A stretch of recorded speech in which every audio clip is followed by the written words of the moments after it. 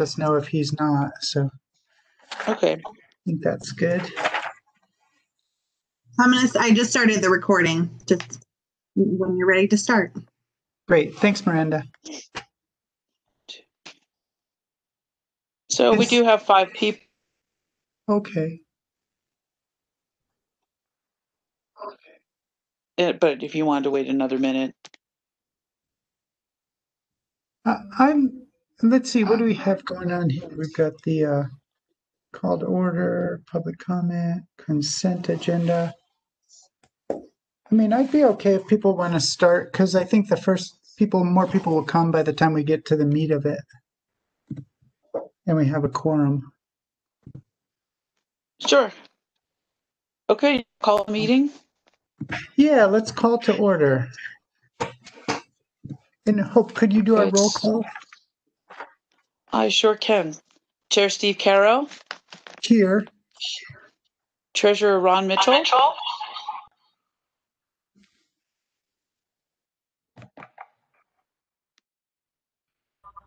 Here.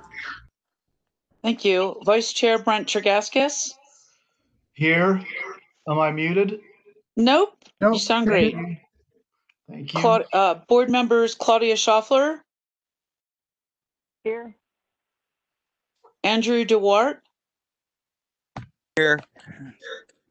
And I don't know if Barb has joined. Barb Hart, Here. great. Uh, Rhea Ortner. She must be running just late, and we will call for Karina later. That's it. Two Sorry, people are absent. I didn't hear that. Is Ron on the call already? Yes. Yes, I am. Oh, hi, Ron. Thank you. And then Jonathan Baumhover is, has he been called? Oh. I'm sorry. Yes. Uh, Board of Trustee Liaison Jonathan Baumhover.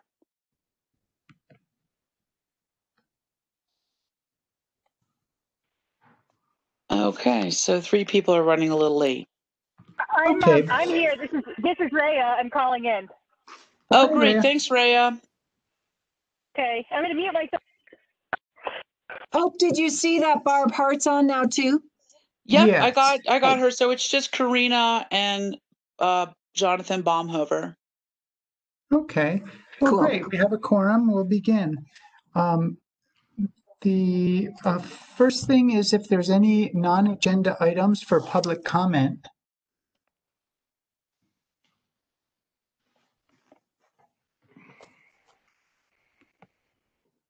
Okay, it seems like nobody has a non-agenda public comment. We will ask for public comment for each item as we go, or each group of items.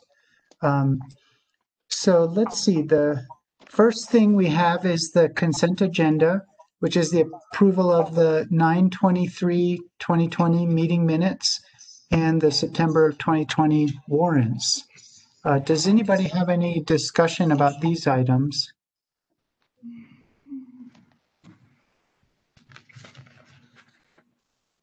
Okay, um, then I would Hope, could you, I forgot, oh no, we just say all in favor of um, approving the consent agenda.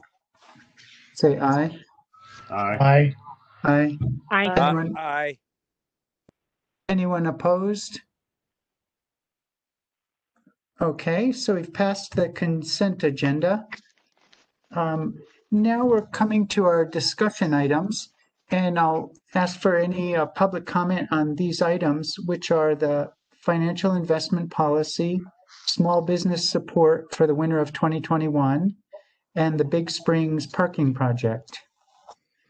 If there's anyone with discussion, uh, uh, public comment on those items, we could hear that for three minutes each.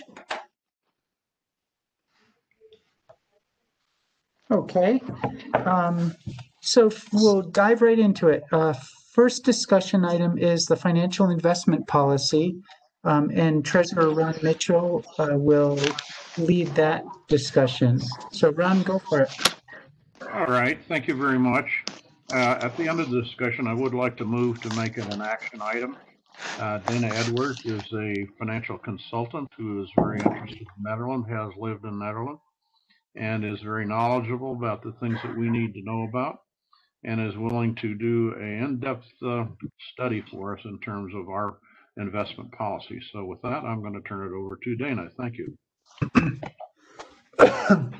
Hi, everybody. Um, yeah, as Ron said, I'm actually really happy to be here. I always wanted to be able to join the, the DDA, but I didn't live in the, in the, uh, the perimeter, so I never could. So this is kind of a great way to be able to be a part of it. Um, so I really want to just leave as much time for any questions that you all might have and um, maybe just add a little bit more color to exactly what it, uh, the goal of, of an investment policy statement actually is. So let me do that first, and then you can ask me some questions and just get some clarity so that you can make a decision about how you want to move forward. Um, the goal of the investment policy statement is in layman's terms, mostly to just get you all on the same page as the as the DDA and as the entity. How do all of you want to uh, invest your dollars? Um, Ron and I have talked a little bit, and he shared with me a little bit of the background um, that you're looking to invest up to two hundred fifty thousand um, into something better than a savings account at the bank. And so basically the this process is mostly to help you figure that out. Um, obviously with me being part of that conversation and guiding that conversation and gathering information into uh, a document, which ultimately you would probably want to have just an attorney review, make sure that it's all in line with Colorado statutes for your organization. But um, as far as what my role would be, it would really start out with a discovery, and that would really look like what are um, what are your requirements? What's the risk tolerance that you all have for these funds? And again, thinking of yourselves as an entity, uh, and then from there, really breaking that down into different components. You know, what's the time horizon? How soon would you need access to these funds, or do you want them to really serve more as really long-term type of investments or short-term type of investments. Um, we would touch on liquidity, taxes, things like that. So, so really kind of looking at it from all the different financial aspects, helping my role would be to help all of you make sure that you are in agreement of what, what you want to do and how you want that to look and to play out. Um, and then once that's in place, then you can actually start to invest and start moving that money around. Um, so I want to pause there and allow you all to ask me any questions or any clarifications about the proposal itself or anything that I've just said.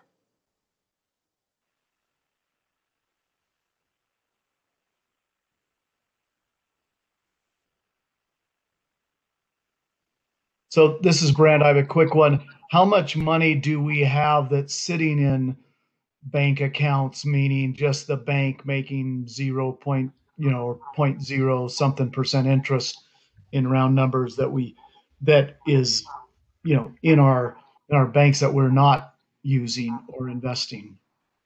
We have in the bank at this point, I got the statement a few days ago, about eight hundred thousand dollars, maybe plus or minus a hundred dollars. Okay. And is, there is more money that could be available to us than that. Is that correct? But we, but it's not, it's in a different form or where, how does that work? Everything we have is in cash at this point right now in the bank. And it's eight hundred thousand in round numbers. And uh, Brent, a certain amount of that has already been appropriated through the resolutions that you have all passed. And there are many of those that are outstanding. So I do just want to make sure you understand that anything that's already been appropriated uh, would not be something you'd probably want to invest. You'd want to keep it handy because the, the goal, of course, is to get the money out there and invested in the community to do the projects that you've had approved. The other part of your question, Brent, I think had to do with what you will be earning throughout this year. You'll still be earning more TIF revenue. Yeah. Um, and I think it was budgeted, and correct me if I'm wrong on this, Hope, but around $150,000 this year. Is that correct, Hope? For what, For just the TIF revenue, the TIF tax revenue? uh, yes. No, I believe, I, you know what, I can't look at the screen right now. Why do I feel Right. like it was three hundred and twenty-eight thousand? For some reason, that number is in my head. But what, I think what you're saying is absolutely correct. I mean, the money is Yeah. for the DDA, and I think that's why Ron was looking at two hundred and fifty thousand because I believe we went before the BOT with a budget of six hundred and sixty thousand. So I guess look at it that way. If we've budgeted money, although those monies are not necessarily into play, I feel like two hundred and fifty nine thousand dollars is in play right now. Um, so the money that's not engaged in a resolution or, or in a project that's moving forward yet, is that considered money that could be used for an investment? I don't know. That's kind of touchy, but that's your decision. So, so just to clarify, we have, we have a commitment of about 600,000 that we've already committed to, to various projects? Well, we've budgeted, yes, and we've said like, okay, well, let's have that parking study for, in the, as an example, for twenty thousand. Okay, we'll budget I money just- for that. Can I just jump in? Sorry, they're called Sure. encumbered funds. And Unencumbered fund. They're called encumbered funds Yes. until they're used. So. Well, they're encumbered once they go to the BOT and we get a loan from the water fund. Right. That's when it becomes truly encumbered. Otherwise, it's what we what we're thinking about doing or Right. with the DDA. Yeah. Right. Okay. That's all. Yeah. Thanks, Andrew. The BOT has not improved $600,000 worth of stuff, right? We just have that on our shopping list, so. to speak. Yes. That's a good mm. way of putting it. Okay. And, Thank you. and if I could try to clarify a little bit, this is Steve Caro. Um, I think from our budget um, discussion uh, last month, Hope and I spent a lot of time trying to figure out um, in 2021 what we would have, what funds we would have available to us. And we we took out of that the funds that we have already um, uh, promised to be paying out, such as like the 139,000 for Jefferson Street and the Yes. seventy thousand potential match for the go, uh, for the safe walkways.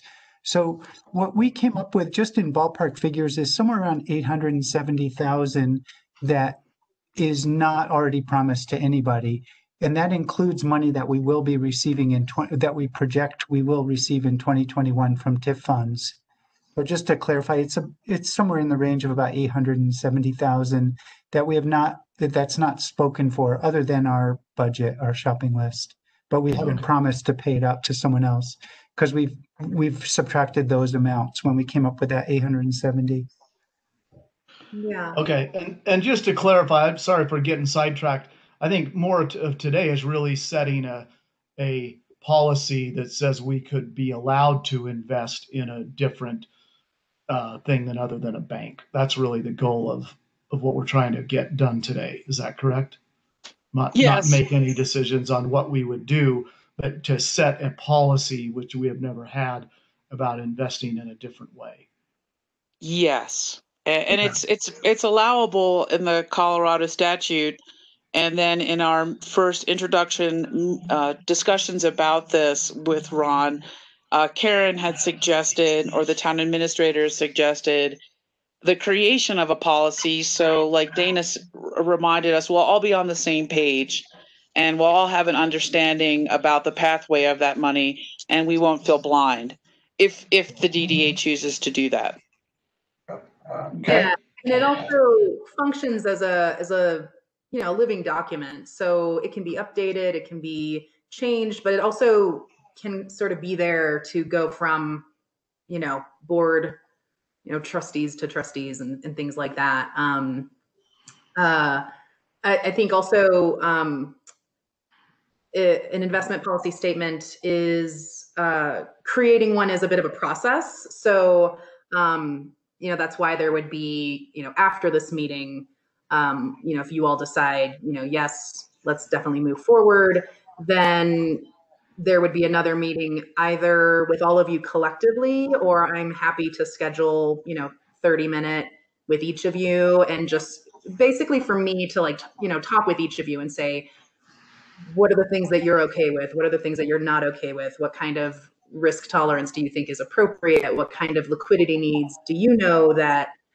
this these dollars would need? Um, and then to you know come back and say, okay, here's here's a draft of what it is, and then you would you would look through that and decide, okay, do we like that? Do we want something to be different? Is there, you know, disagreements? Whatever the case may be. So it's a bit of a process, a little bit of an iterative process because it's um it's a really important document ultimately. Um, whether, you know, I mean, you guys have like you just said, a lot of money that you could do some really incredible things with. And so this is really adding a container to that and saying, you know, we want to be we want it to look like this. And it could be a lot of different things. It could be a different type of portfolio. You could be, it could all be very conservative. It could all be very aggressive. Chances are we probably going to do a little bit of both. Um, but it allows for a lot of giving you, letting you know the parameters of,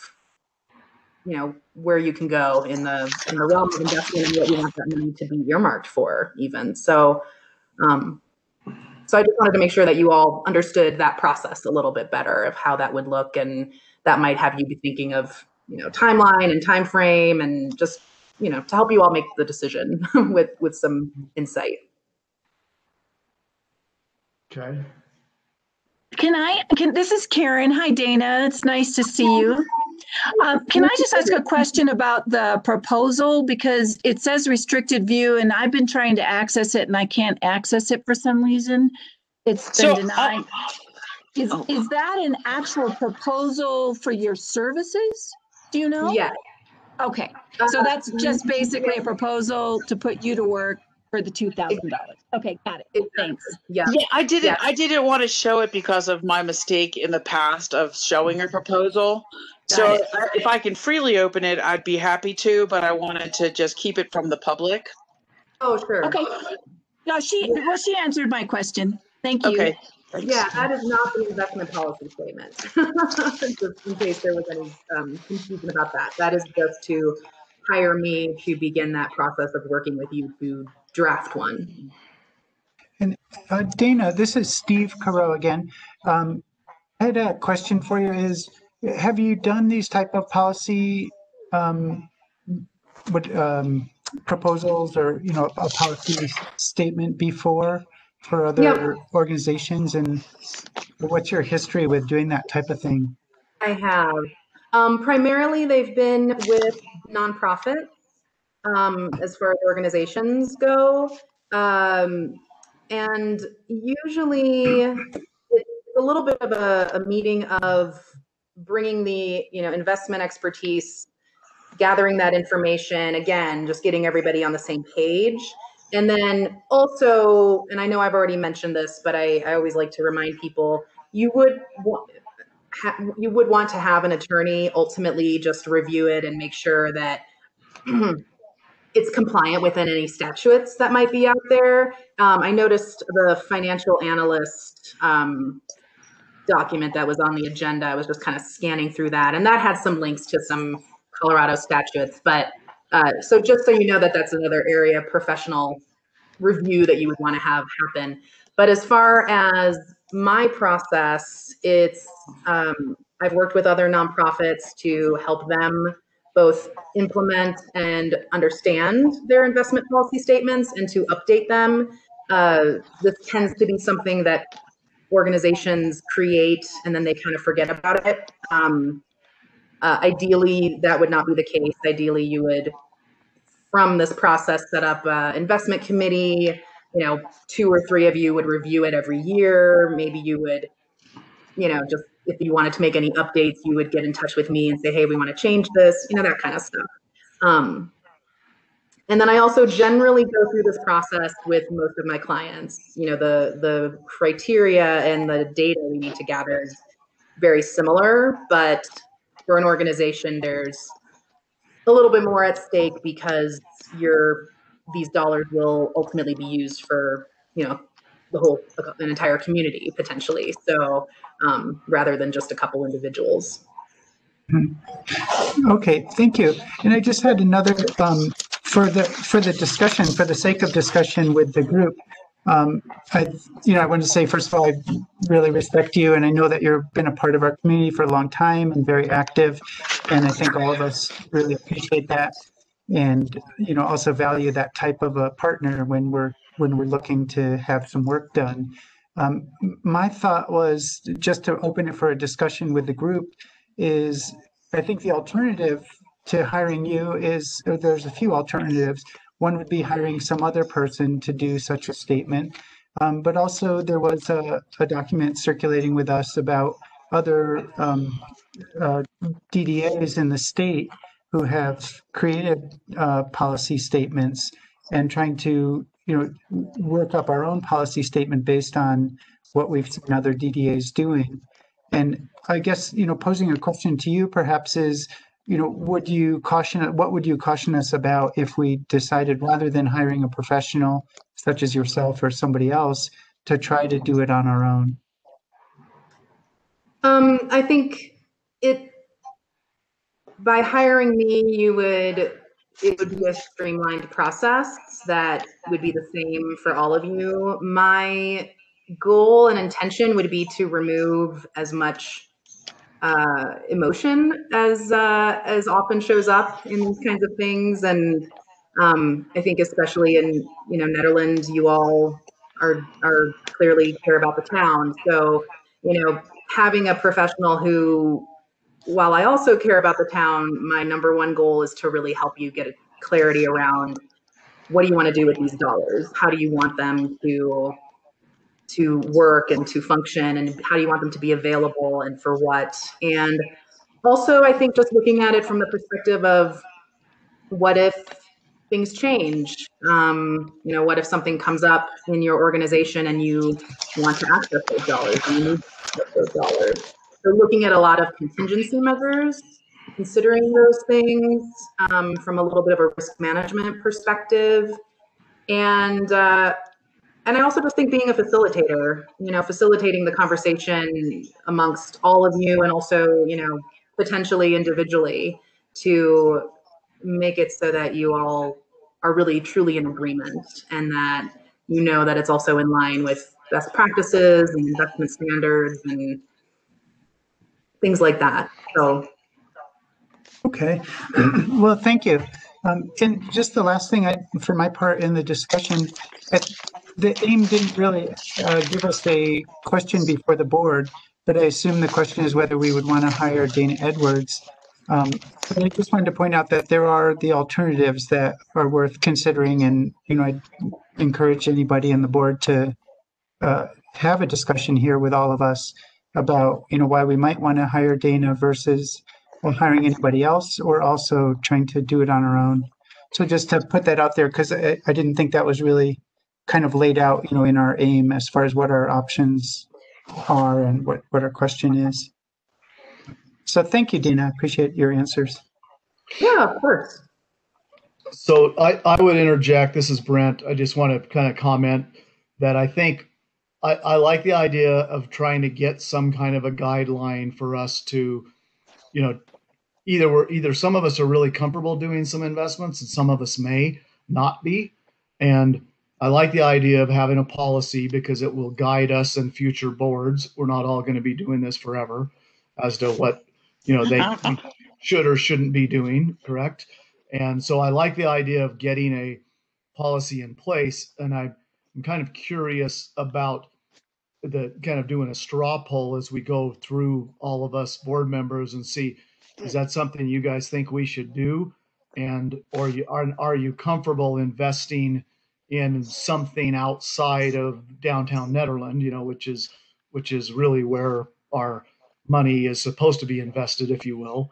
And are we are, are people generally comfortable doing something uh, and maybe what level of risk you'd be willing to take before you know commenting on that you know is it should we be in high value high risk low low return, low risk, you know, somewhere in the middle. So I'm kind of curious as everybody speaks to maybe you could kind of, we can just from a straw poll standpoint, answer maybe those three questions. What's your level of risk? Um, if you want to get a, a policy in place or not.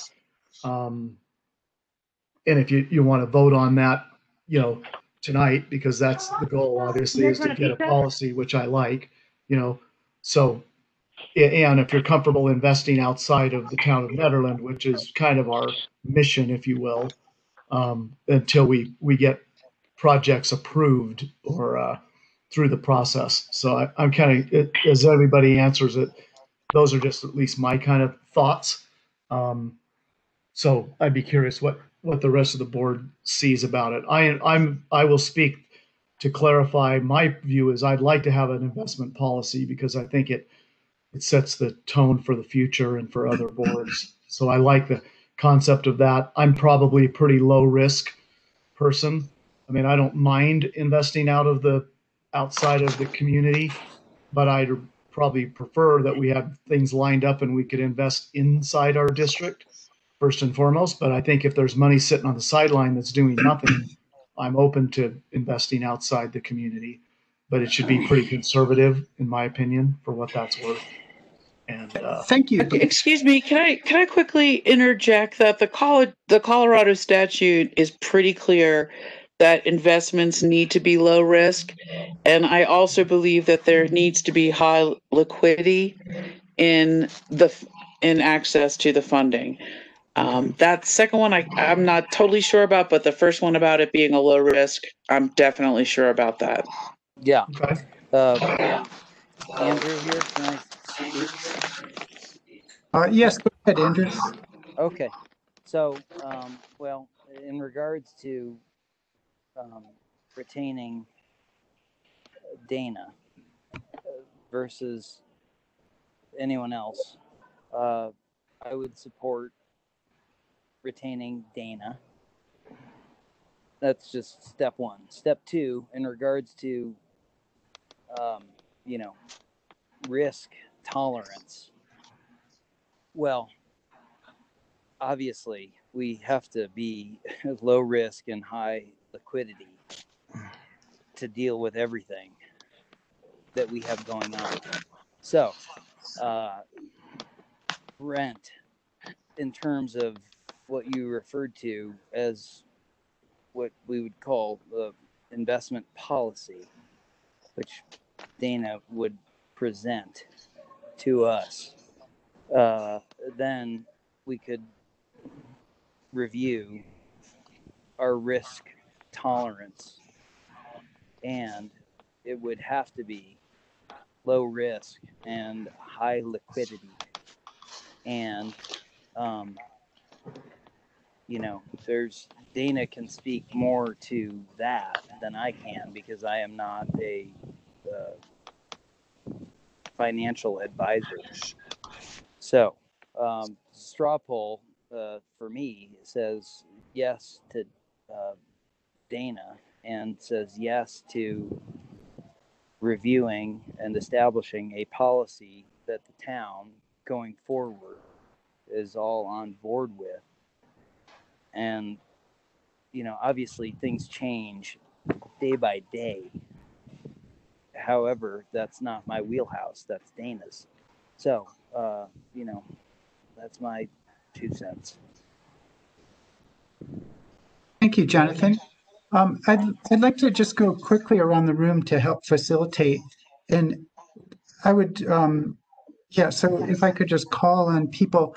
Claudia, are you okay to go next and give us your input? I, I like the idea of responding to, um, you know, Brent's questions at least at first, uh, which is. Sure, no, I think that makes perfect sense.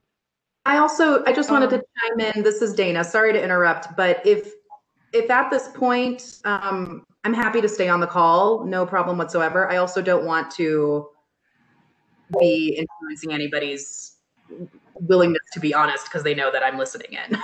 so, um, uh, if you all are okay with me staying on, I'm happy to. But if you think for your own, you know, process you would rather me drop off and you can all talk about this um, amongst yourselves and just email me with your final decision tomorrow, that works for me as well. I just wanted to, to put that out there. Thank you, Dana. I, I appreciate that. I may be speaking for the whole board. At least for myself, I feel comfortable saying whatever I'd like to with you being on the call. And I think you might be able to help us with some clarity. Um, and I think we all, you know, know you in some capacity and respect that you're part of the town and, you know, very, very interested in the well-being of the town. So I think that anything anyone says shouldn't be personal. It's more about our, our thoughts as a board. Okay. But, um, yeah. So I, I think it would be helpful for you to be on just in case there's clarifications and things. Sure. I That's agree. totally- Great. Thank you, though, for that offer. Um, so uh, back to you, Claudia, if you could give us your input. Okay, thank you. No, I'm happy to have Dana on the call. That doesn't bother me at all. Um, as far as an investment policy, I think we should have one. I think this is a great idea. I um, I certainly am comfortable with low risk. I think that's kind of uh, incumbent upon us. Um, what I wasn't sure about was when Brent was talking about investing in our community. I'm not quite sure what that means. Um, but I do think if we want to invest in our community, that we would want to invest with um, someone that can assist us as part of the community. That's that's how I kind of saw it, but I wasn't sure what uh, what else was meant by that. So maybe if Brent could take just a second and answer that for me. Sure. Yeah, I mean, yeah, I would I would answer it in this context, Claudia. You know, our mission in life is to invest money in the in the business district to improve the dis- business district so businesses do better and pay more in taxes and we get more income as I understand our charge. So I wasn't talking about investing in expecting a like going to an investment counselor or something like that. I was talking about it projects you know that make the town look better and get more people to come there or stop there or spend money there that's Oh, what I I mean. see. Okay, okay. Well, that makes sense. That's kind of what I thought. But as far as other investing, what would that look like? I'm, I'm just trying to figure out what we're talking about here. We're talking about low low risk. Are we talking about investing in stocks? Or are we? But- well i think that's the question you know when you set an investment policy you could say i mean we, you could open up pandora's you could buy real estate you could invest in stocks you could be buying bonds you could um, you know you can buy Just, can, all kinds of things Brent, can I just jump in Okay. here uh, to answer kind of the downtown Nederland investment thing and the, within the community? Uh, so, Well, hold on just one second. Let me just before right, you fi- I'm before you jump in, just let me ask uh, Dana a quick question. So that then I that'll help. Then I'm done. If that's okay, Okay. with you. yeah, totally. Um, so Dana, when we talk about investing in the community, that could be literally in the community. That could be any number of things. We could buy real estate. We could finance projects for people with a payback expectation. Is that something that you are familiar with and would be willing to work with us on?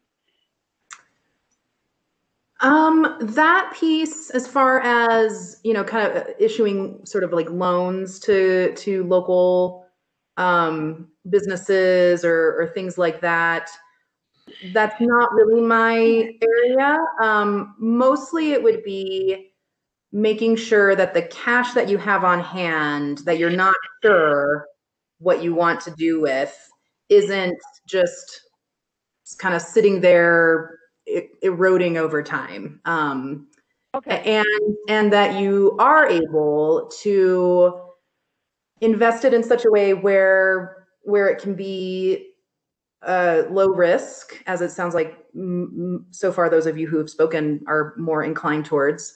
Um, it can be low risk, but it's at least uh, definitely beating the bank and ideally beating inflation. Um, but Okay. that's it's also uh, so that's you know looking at um, you know at least three percent uh, returns, and that would be something that you would put into your pol- into this policy statement. Is our goal is to have a, an annual you know return of whatever it would be, you know, three to five percent or three to you know, 7% or whatever it is.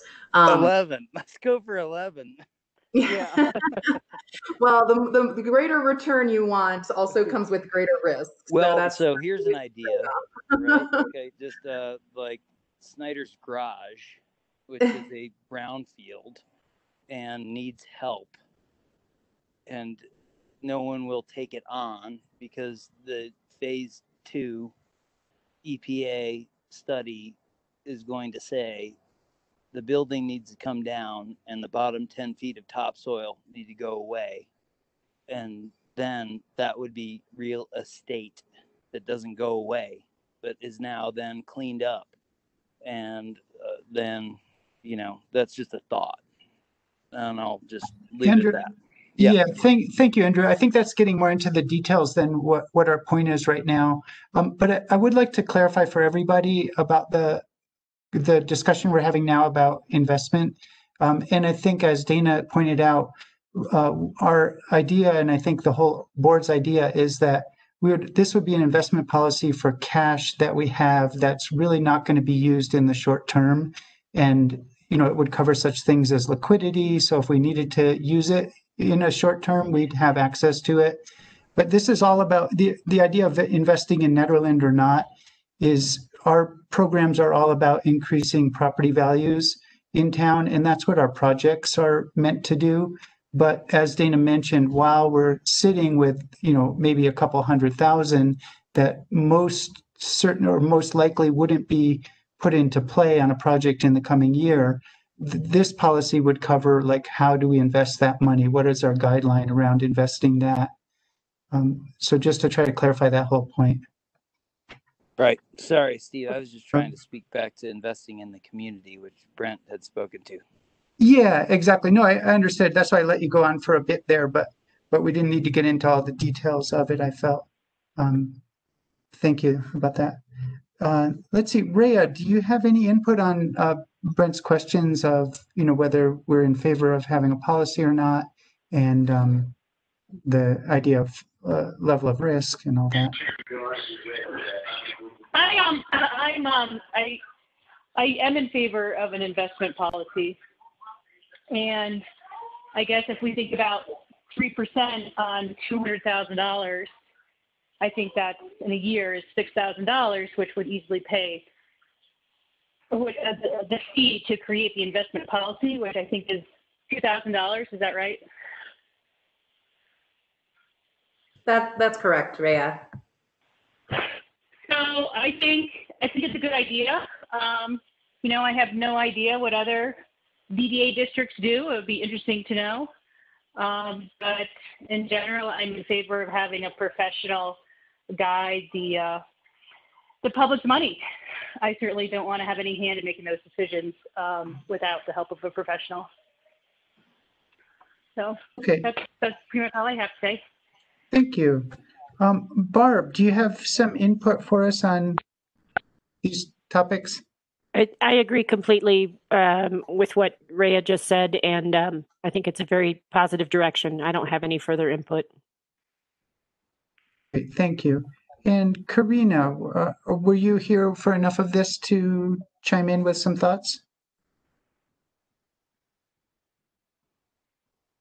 Sorry, I thought I saw Karina on the call. Sorry. Sorry, I was I was on mute. Um Okay, so I just came in right at the very end of um uh what Brent had w- was talking about. So I didn't really hear any any of the comments um, and, and in terms of having a financial analyst to guide the DDA with, um, you know, opportunities or, or, or knowledge on what we should do and can do with the these monies, uh, I I support it. I think that um, I, I don't know exactly how like how the real estate acquisition plays into this, but I think it should be one that we talk about as a board because there certainly are opportunities to um, like what Andrew had mentioned, like with the Snyders or or or whatever other properties are out there. I mean, I'm just wondering if that's part of the conversation or if this is strictly like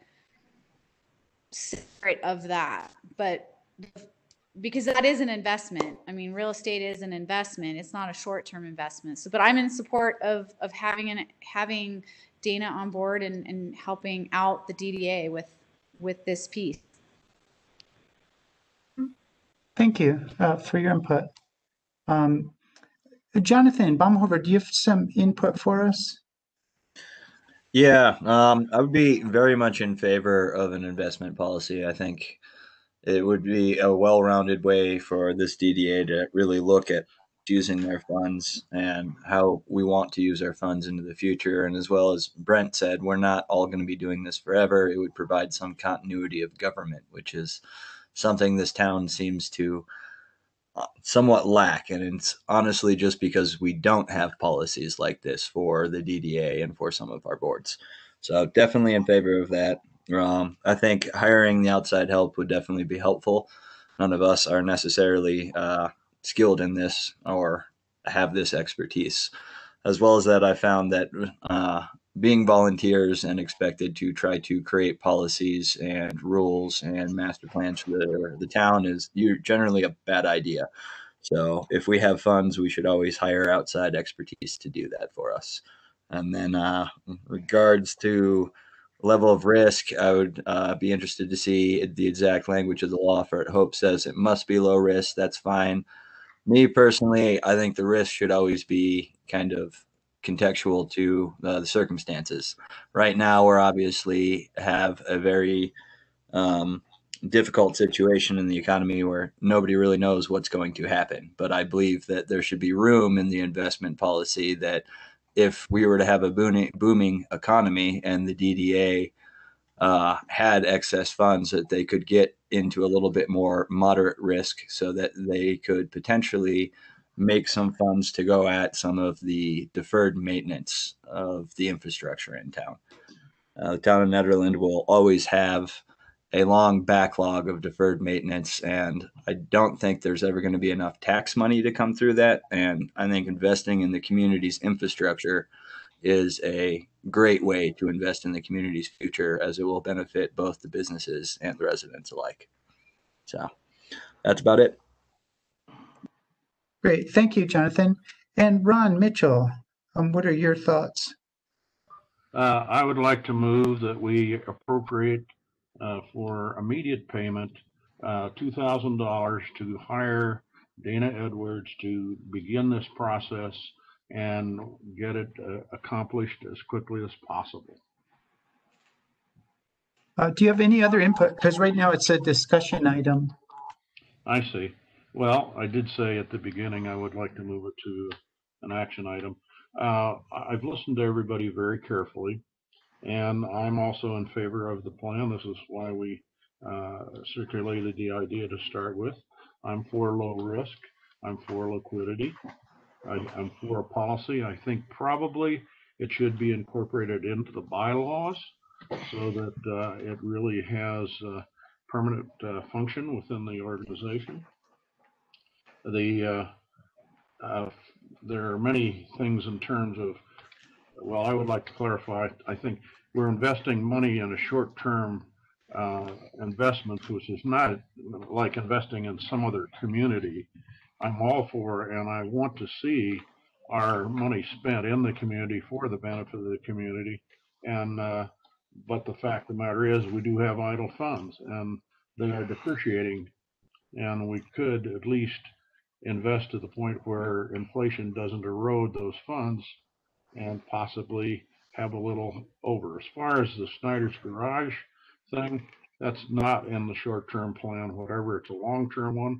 I'm very much in favor of looking at it in some other context, but not this one.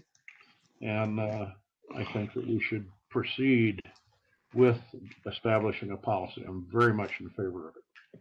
Thank you. Thank you, Ron. And uh, I'll just um, answer the the same questions that Brent had asked us to.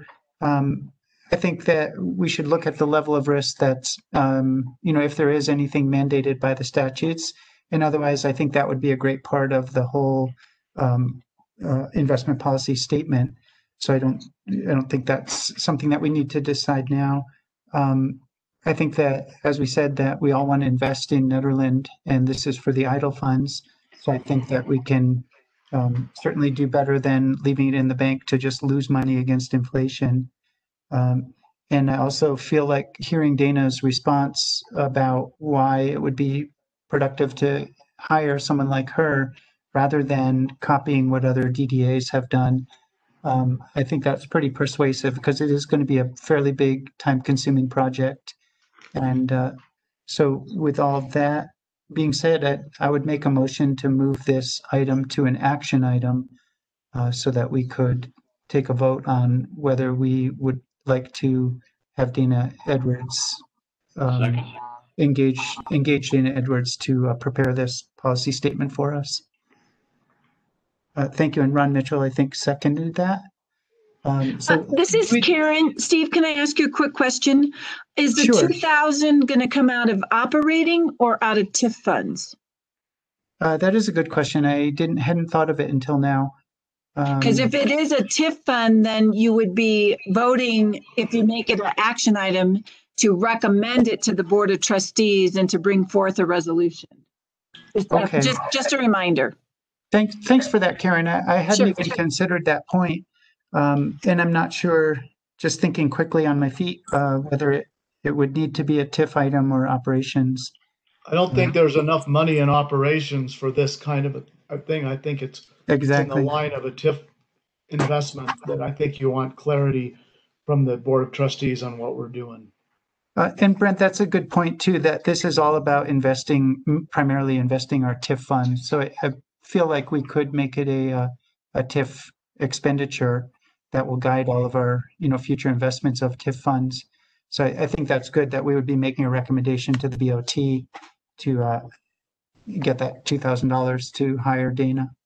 Um, but in the meantime, can we move to make it an action item so then we can make another motion on the vote? Uh, yes, and I just want to, you know, uh, thank Jonathan for using contextually. the That's a great word. Yeah, the investment landscape changes. Uh, that. Thank you, Jonathan. It's a, a good phrase. Um, so I make a motion to uh, change this discussion item into an action item. And so the first was Steve and the second was Ron, and I will call your names. Um, Board of Trustee Liaison Jonathan Baumhover, Yes. Karina Lucier, Yes. Andrew Duart, Yes. Rhea Ortner, Yes. Barb Hart, Claudia Schaffler, Yes. Vice Chair Brent Tregaskis, Sure. Treasurer Ron Mitchell, Yes. Chair Steve Caro. Yes. Great. Thank you. Sure. And so So- now it's the motion. Go ahead. Yeah, so Sorry. now I think if, oh, sorry, Hope, if somebody could make a motion for the vote that, uh, that we would like to vote on. I'm not very good at those. Uh, I'll make a Before- motion. Wait, wait. Can I say something first? Just um, with TIF projects, generally, there's a little bit of a of a fee that goes to Hope to help manage projects. Is that going to be included on top of the two thousand grand for this, for the two grand for this as well? Oh, good, good. That's a really good point. And actually, Yeah. the, the town fee for fifty dollars, um, if it's a if if it does come out of TIF and it's a water fund. Uh, so yeah, I think that um, if we do five percent, as we've done on a lot of other TIF projects, that would be a hundred dollars. That could help defray some of the costs that Hope will certainly be involved with coordinating things between Dana and the board.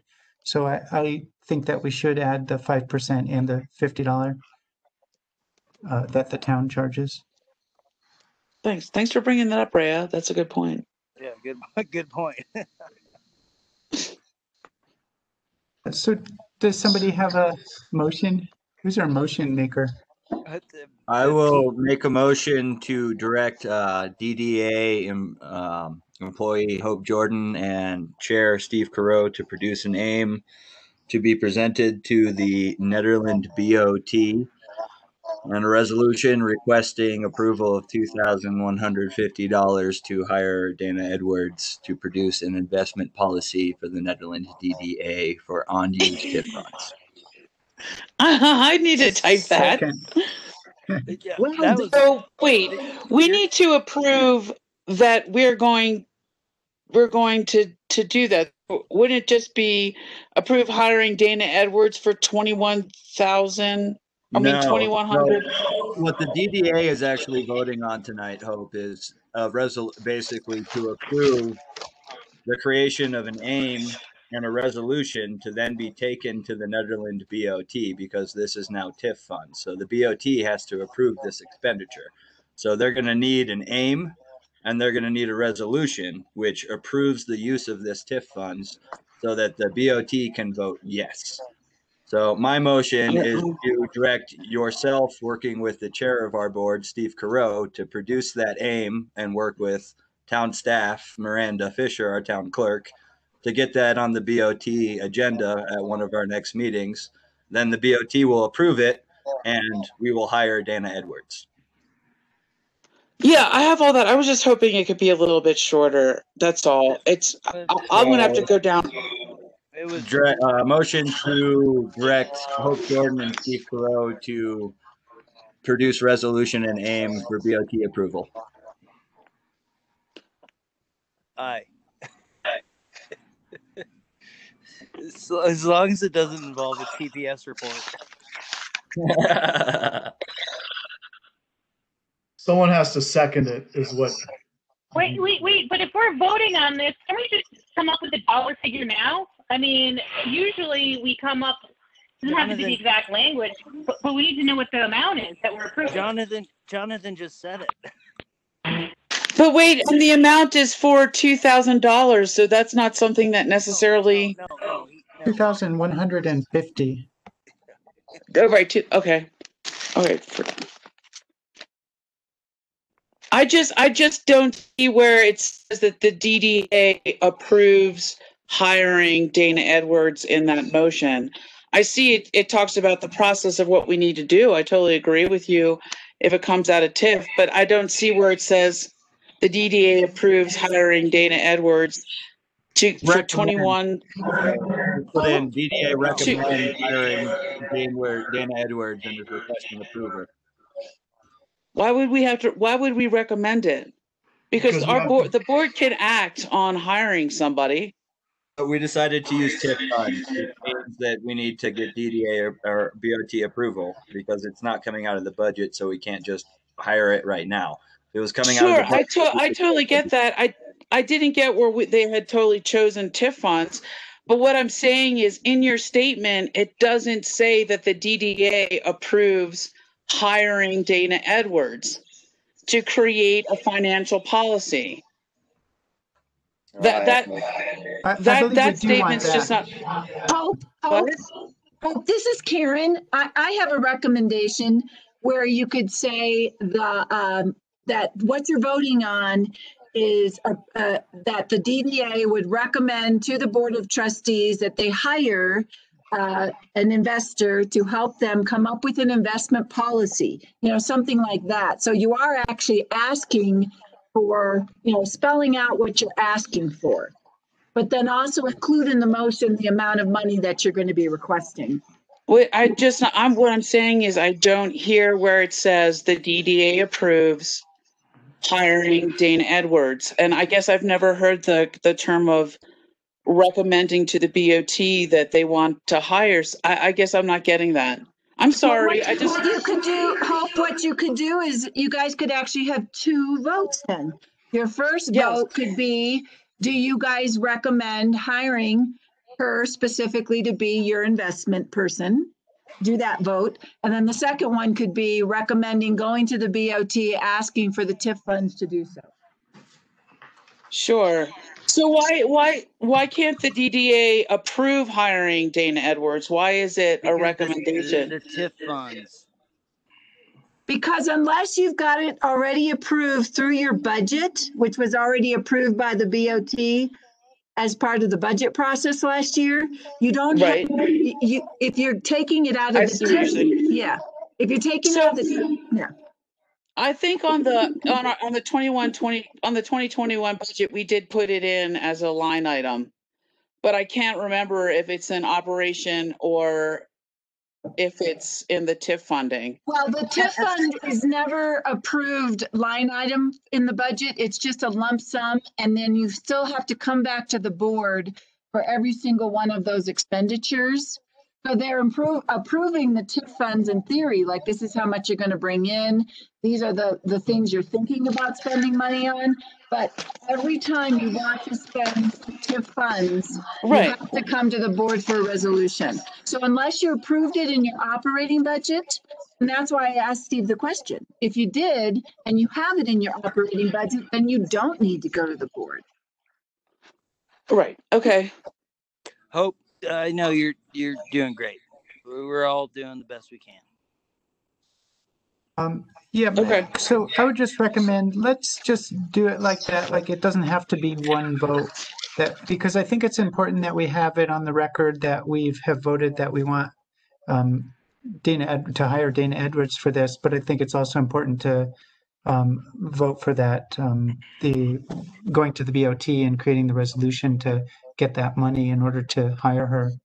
So if it's not in one, you know, in one um, motion, it could be, in- I mean, two votes instead of one.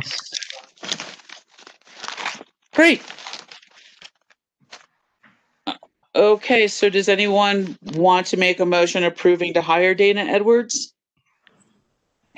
Yeah, it's Brent. I'll make a motion to hire, that the, that the DDA recommends that we hire Dana Edwards to do a um, investment policy for the DDA. I second that. I third. Okay, Brent, Steve. Okay, and I'll call the vote. Chair Steve Caro, Yes. Treasurer Ron Mitchell, Yes. Vice Chair Brent Tregaskis, Yes. Board members Claudia Schaffler, Yes. Barb Hart, Yes. Rhea Ortner, Yes. Andrew DeWart, It's it's Stewart, but anyways. Stewart, Aye, aye. thank Yeah, you. Yeah. Karina Lucier, Yes. and Board of Trustee Liaison Jonathan Baumhover. Absolutely. Great, thanks. And now, could we make that second motion?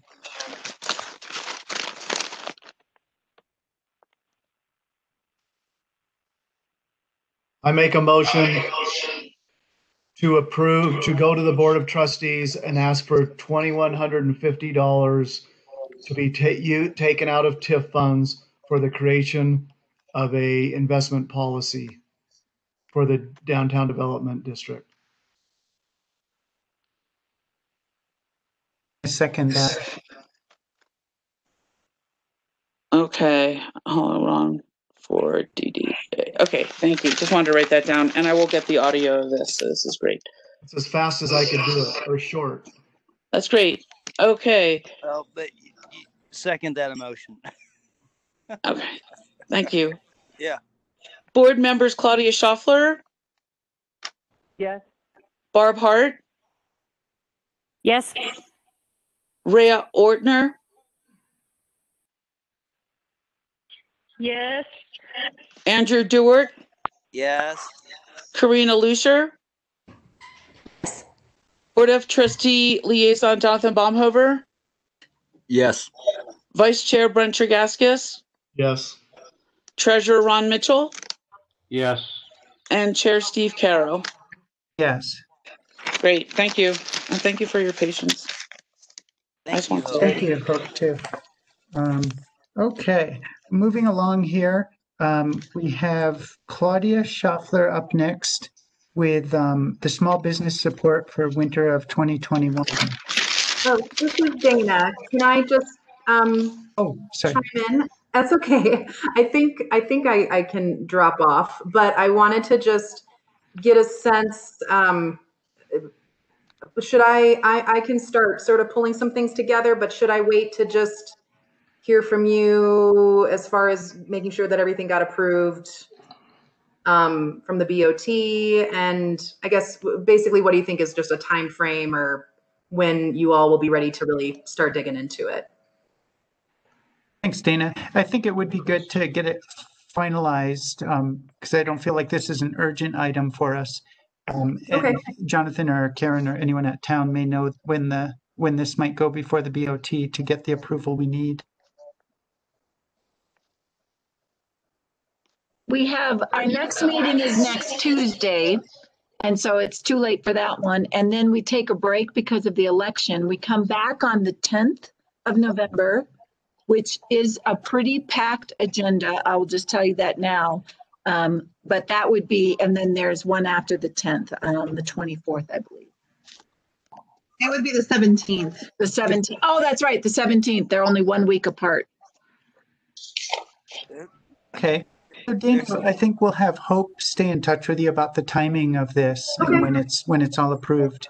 And That's thank you. Perfectly fine. Absolutely. Thanks so much for having me. Looking forward to this. And uh, yeah, thanks again. Have a great rest of your meeting, you guys. Thanks, Dana. Yeah, Ten appreciate four. it. Bye. Okay, then back to Claudia on the One item business off support. the agenda in an hour. We hear you. Okay, so I'm going to be quick. I just, this is more information, and I apologize for not having an aim. I should have done that. I am asking, I have pulled together, or I'm working with Hope to pull back together the uh, committee that we used before to uh, make recommendations on what we ultimately ended up being, uh, distributing funds to businesses that qualified. So I'm pulling the committee back together. Um, I have not heard from Jonathan, and from what I have heard, Jonathan is overwhelmed. Jonathan Hari, sorry, I don't mean to speak for you, but uh, Karina would very much like to be on this committee since only two of us can. Um, Jonathan, if it's okay with you, we will let her replace you on that. That would be lovely, and you are right on on point. That yeah, I'm slightly overwhelmed Okay. right now. Um, I may reach out to you uh, for advice, but thanks for what you did before. So it'll be Karina and I, and so far Hope and Karen and Miranda. As far as I know, that's the committee. What we want to do is just look at what options we have to provide support for the oncoming uh, winter for small businesses. And I personally have a couple of ideas I'm wanting to explore. I'll just throw those out. And then if anybody has any other ideas or has any input, uh, please let me or one of the committee members know. Um, I am looking into the cost of providing better ventilation for businesses that will require it, primarily because we're having to shut our doors now. And uh, I'm personally concerned about the ventilation in my space. And so I'm kind of exploring that, wanted to know if there was some way we could support businesses with that. And then we've talked about supporting the businesses that need to operate outside, that being the restaurants and so on, and how we can help them, um, if at all. This is the beginning of discussion. I don't have any numbers to throw out yet or any ideas, um, but I am willing to look at if we have to do it, explore, in, other words, if we had to do it in a commercial building like the shopping center, asking uh, Stephen for permission if we will uh, finance something that would benefit all of the businesses in the shopping center. Would he agree to it? Things like that. Um, so I just wanted to give everybody a heads up so they could start thinking about it. Oh, well, all right. Um, Andrew here again. So, uh, speaking as a American Society of Healthcare Engineering healthcare constructor who deals with containment and uh, air cleanliness, we would refer to you know things like an ICRA, infection control risk assessment. So that's one thing. But the other thing is uh, we just need to get HEPA scrubbers attached to fans and put them on the ceiling and you know divert the discharge elsewhere, uh, so they don't, you know, wrinkle the clothes or whatever. Um, but so currently, HEPA filters are uh, quite in high demand. Um, so uh, rather than go to Stephen, uh, well, we could go to him too. But simultaneously, we can connect a filter to a fan and scrub the air.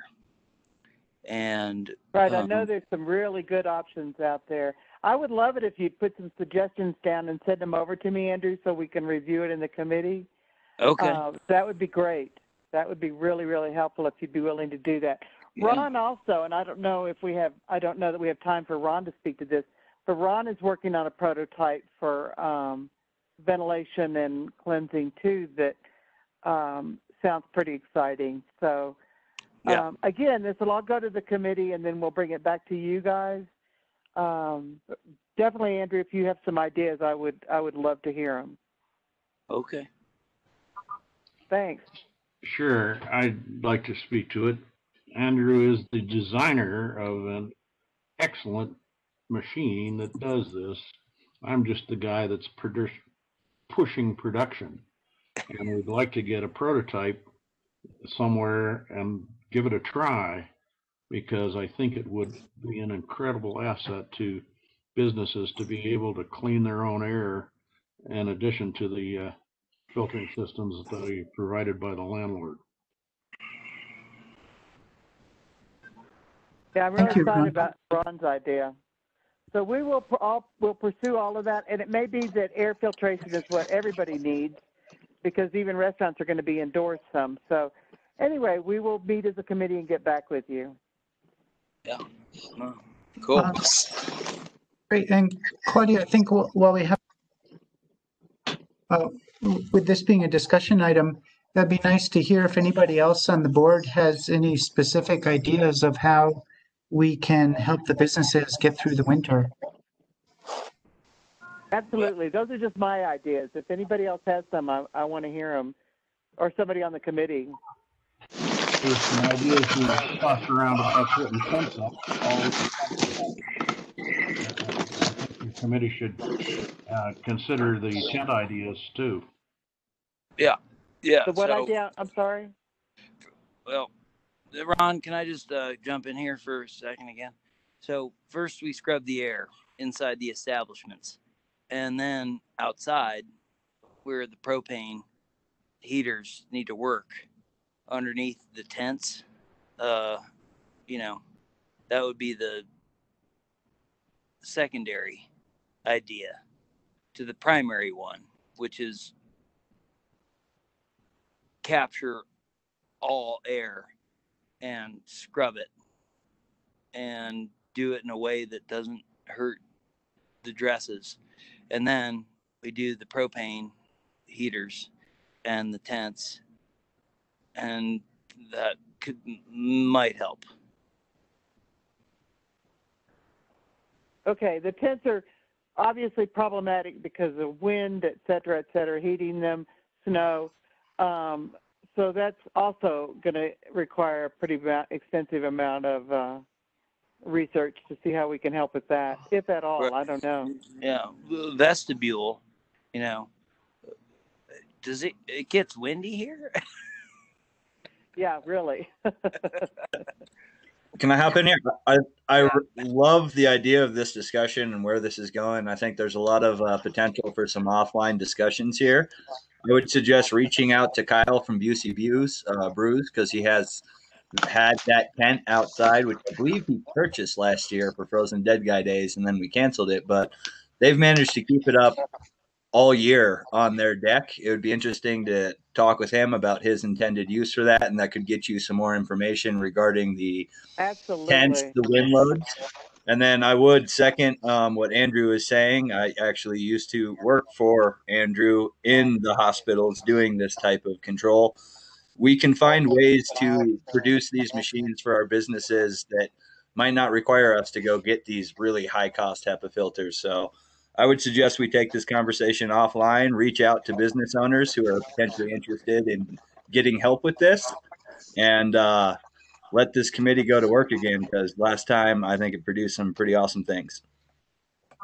Thank I you. would I like agree, to- Jonathan. And I would like to say something here that uh, this, I think, would be an opportunity for the DDA to make very low-cost loans to merchants to buy these high-efficiency air scrubber units uh, and uh, have a long-term payback, because I don't think it would be a good idea for the DDA to be buying those machines. I think the uh, maintenance and the uh, use uh, should be in the ownership of the individual merchants. And, and if you could all keep in mind that I think I sent around a spreadsheet yesterday about what some funding could be spent on. And we have about $60,000 that we can be reimbursed for if it's used by December. So if the committee wants to get together and um, discuss some things, our next uh, board meeting actually falls on Veterans Day, as Karen reminded us, and we're gonna have to have to look at another date. But that's getting really close to December first. So, are there any kind of short-term things um, that we could be doing or providing to area businesses with this sixty thousand dollars we can be reimbursed for? again, to this committee to have an opportunity to, to meet and as soon as possible and address that specifically. So I just don't want to take up a lot of time in this meeting because we weren't Sure. we weren't allotted that much time. So the sooner we can get the committee together, the quicker we'll have an answer to that. Um, and if I could just jump in, this is Steve. Um, Hope, do you know that the, the funds need to be spent by, uh, you're saying December 1st in order to be reimbursed from that 60,000 that we have left from that grant? It didn't say December first. It said later in December, but I said December first, so I wouldn't be up to the wall on that day. So the hope was that, uh, you know, give a little cushion. Let's get, try to get everything um, that's reimbursable re- spent. So that December first, I'm just putting together that final paperwork because I'm sure that Miranda and Karen can attest. You have to write down every check. And, you know, I'm going through all of those right now. So it's a little bit of a process reporting. Okay. That is And, and Hope, could you just please reach out back out to the, the group that gave us the money and just clarify like when everything has to be submitted by, so we have some real, real data to go off of? Because I Sure. think this is a great opportunity and something like if we can't get together ideas about, you know, actually um, purchasing or giving money out to purchase HEPA filters and that type of thing, I would think that it might be worthwhile to buy a whole ton of PPE that we know the town will need in the Yeah. coming year and just buy it because we can get it reimbursed. But I'd hate to just do that, you know, as a reason not to lose the money when we could have had more time and, and maybe done something that's a little more uh, robust than that. But I feel like Sure. as a, you know, fallback, it would be a shame to lose money that's been granted to us just because we couldn't spend it in time. And we know that PPE is something that is not going away in the short term. So we could make it available to businesses. So that's just my input about the discussion. Could we also include these uh, high-efficiency air scrubbers? Because we might be able to fabricate enough to get some into the businesses within a couple of weeks. Yeah, yeah, we definitely can fabricate. yeah, yeah. Okay, and I think that would be more, yeah, to work with the committee on that type of thing that, you know, may or may not be able to be purchased in time. Um, but I don't know if the board, ha- anyone else on the board has other ideas for something that's relatively short term. I, I I mean, quick, uh, quick turnaround. Hi, this is Karina. Can you guys? Yes. Yes. So, so my my audio is kind of funky. Um, I think that um, at the sixty grand and and kind of coming up with a plan um, to to do something with it before December and before that reimbursement option runs out uh, is key. I think that reaching out to the businesses to find out um, what it is that they most need. Um, whether I don't know what that is, but I think just getting out there and finding out what they need, what information they want, um, is is gonna is gonna be probably at the top of our list as a committee to tackle. Because I think doing this in a vacuum without reaching out to and all businesses in the in the district is um, we're not really doing our job. So that would We Let can't say one thing real quick. Can I say something real quick? Yes, yeah. This is Claudia, sorry. So, um, I agree totally with Karina. I think that needs to be part of it. But when I put, when this first occurred to me that we needed to do this, I wasn't trying to meet any deadlines. I didn't even know about the fifty or sixty thousand. So as much as I want to meet that deadline and definitely if we can utilize it before then, but I was thinking of something completely new. So if the board approves it, so so my ideas aren't necessarily tied into that deadline. Hopefully, they we can uh, come up with some creative ways to do stuff after the deadline, if that's necessary. Okay, I'm done. Uh, Thank you, Claudia. Pretty sure we can figure it out before the deadline. Perfect. Okay. As long as we know what we're figuring out. Well, good, good point. So That's uh, what this is needs to meet. Yeah, uh, hi, this is Steve. Um, Claudia, uh, I think, would it be okay if we task the committee with putting together a survey that could go out to all the businesses, asking, you know, how we could most help them? Um, and it could be both about these short-term things and long-term. And I don't think that we need to Perfect. just, you know, spell that out in the survey, but we would get the results and we could figure out what, what could most help the town short-term and long-term. And that could help guide the committee. Absolutely. I think that's a great This is- idea. Hi, this is Karina again, and I think just also to stress that you know it's also about providing resources to the small to the businesses that might not have a finger on the pulse of those resources. So I think that pulling together information for folks that feel like they're a little bit left out or you know some people have access to information where others don't um, I happen to have a ton of information on the restaurant side, but maybe I'm lacking in in some other scope. So I think that it also needs to be an effort. I, I, I think that this is where the you know the committee would have this as, as part of our part of our project is to really try and share and disseminate information coming from all the different resources that are out there for small businesses, especially in towns like Nederland.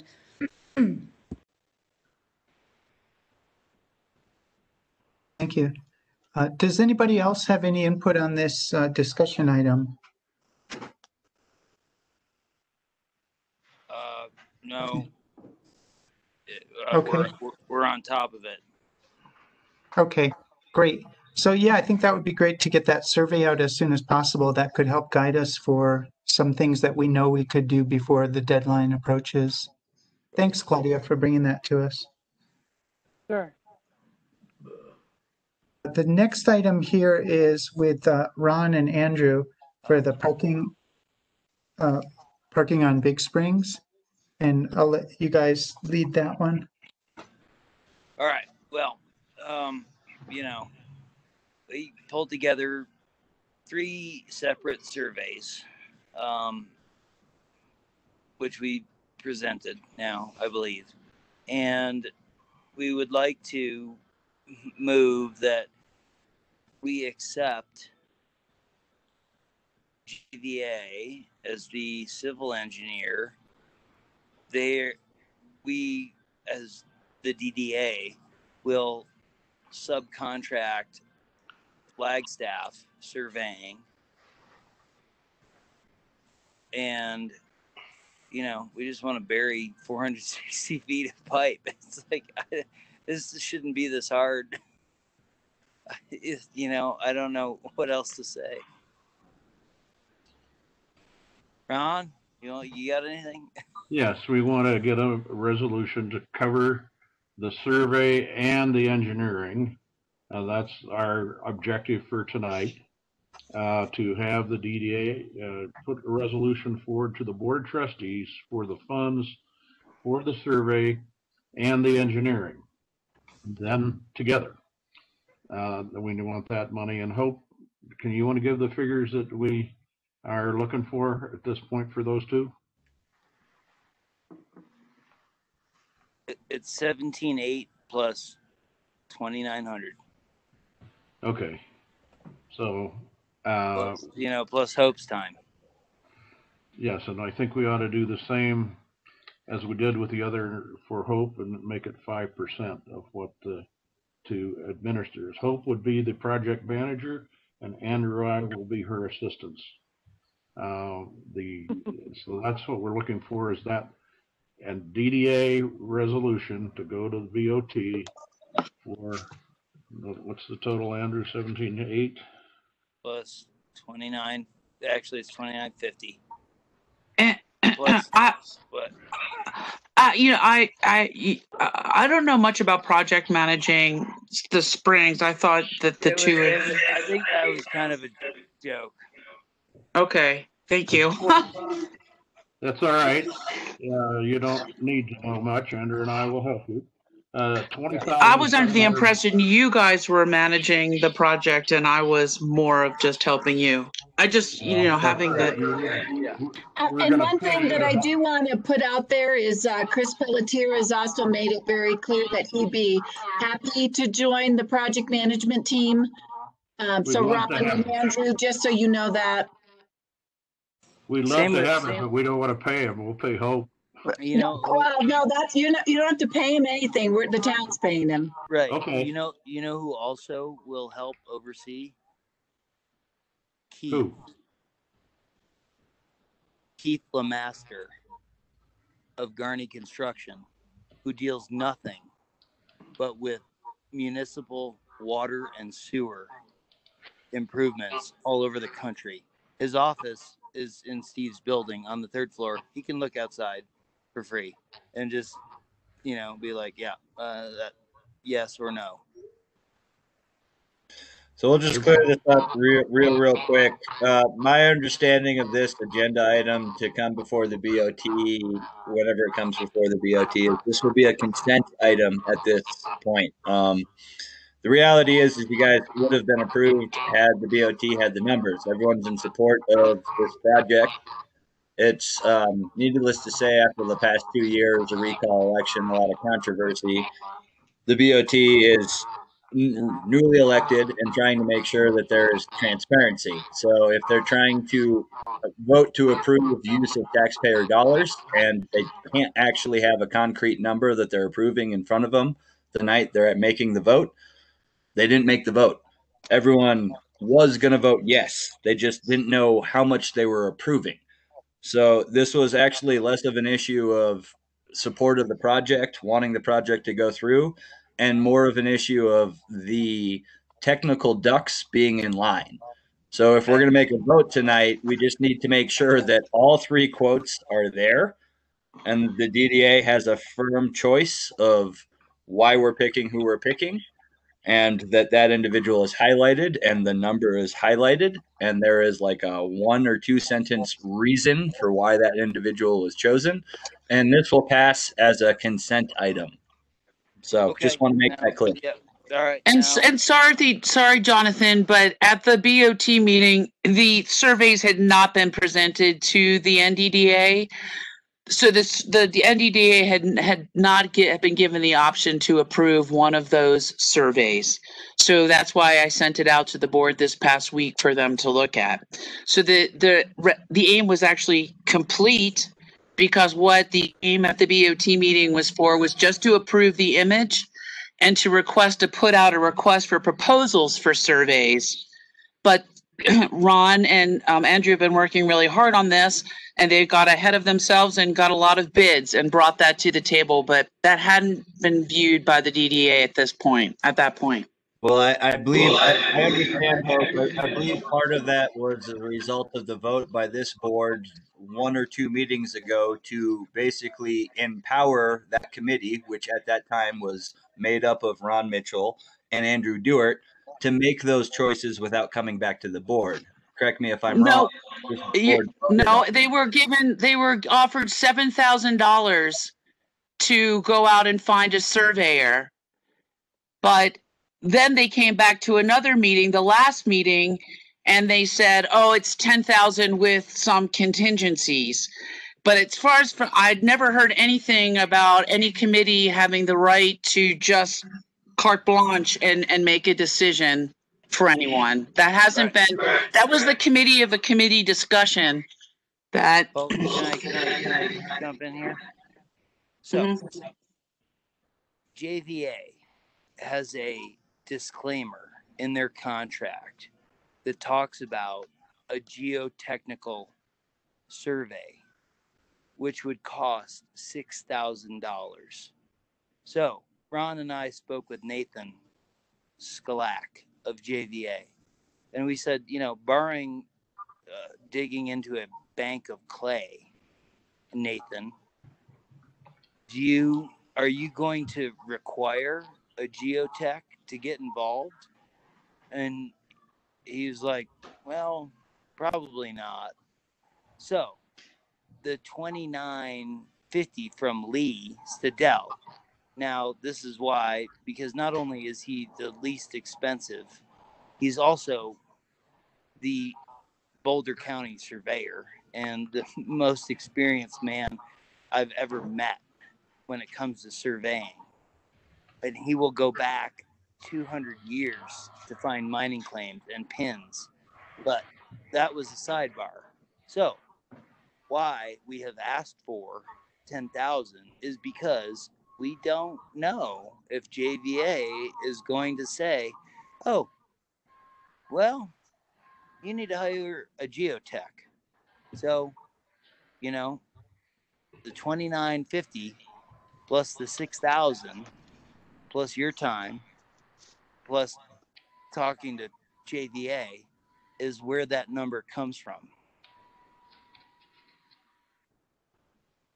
Uh, like Let's not get into the weeds here, guys. All, all I have to say is we're all in support of this project. The BOT is in support of this project. Everybody in town wants this to happen. We're no longer debating about why we need money or any of that. All I'm simply saying is whatever happened, happened, and it's totally okay. And it's still going to happen. We just need to use this as a learning experience that if there is an aim produced for the BOT and putting on a BOT agenda, the information of exactly what you are asking for, exact numbers, and reasoning of why you have recommended those numbers need to be included in that aim because we were able to talk and be there.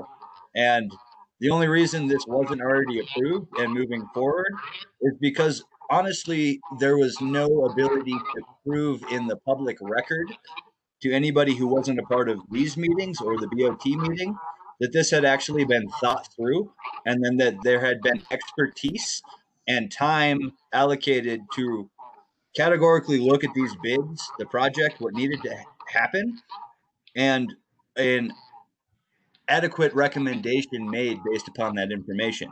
We simply lacked the information as part of the aim and as part of the public record to approve it. So, like I said, whatever happened, I don't really.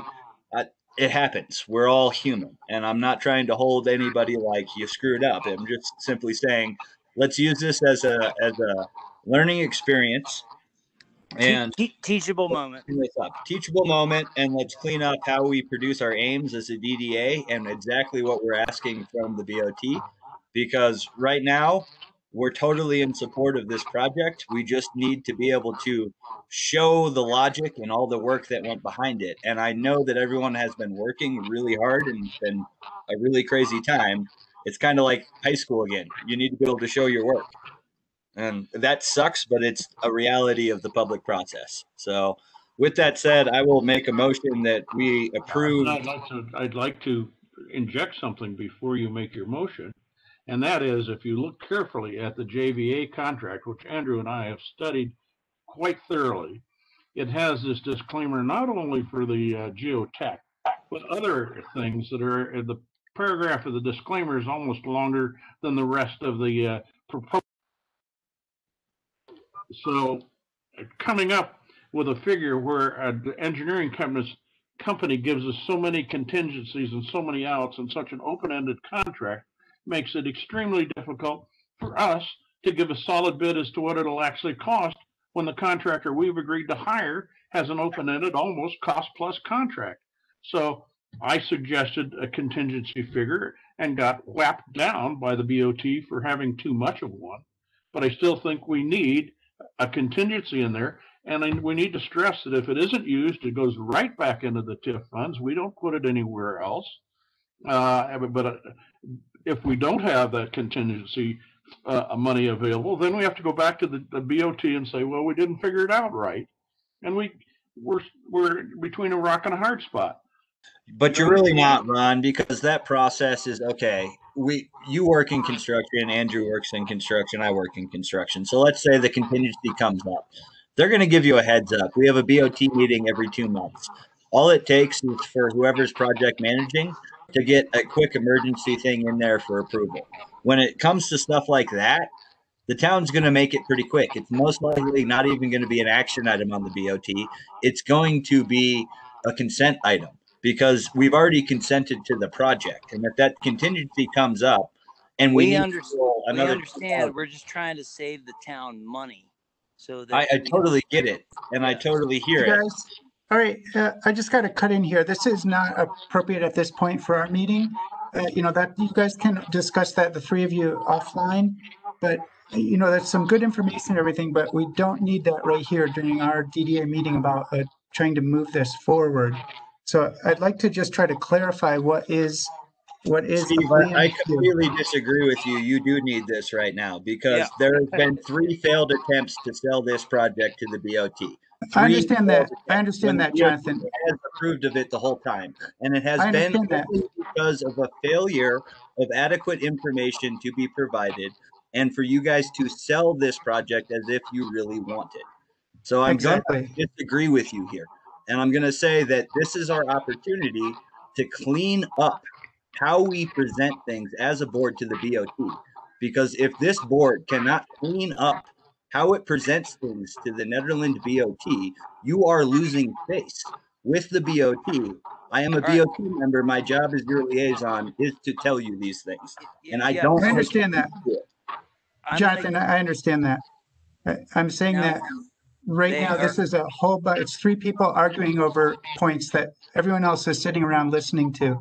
And I no, think that, no, no one's arguing about anything. What Jonathan is saying is that we should have submitted the three surveys proposal, the three survey proposals on letterhead at the last meeting, as opposed to me running around my email and trying to pull it together at the last minute. So, uh, you know, I'm sorry that uh, it wasn't perfect. And uh, so when we present things to the board, we'll have them on letterhead and they'll be more coherent than an email thread uh, or something. I hate to be an ass, Andrew, and you know me, but yes, that is essentially what I am saying. Doesn't need to be a letterhead, it just needs to be available. I, I, I understand exactly what you're saying.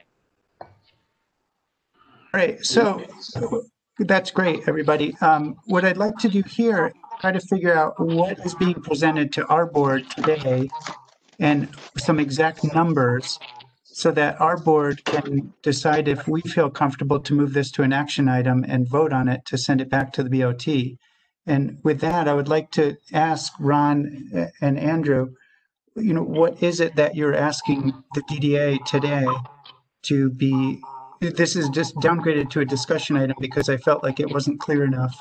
But if you can make it clear for us, we can make a motion to change it to an action item with clarity and vote on it so that we can go back to the BOT with a very clear I would process. I would like to present the action item that we accept the lowest bid from the highest quality surveyor of 2950 plus JVA's quote of 17,800 plus a little bit of Hope's time and you know as Ron mentioned it's very difficult with the open-ended JVA contract so What's 17,800 plus 2950 plus $150?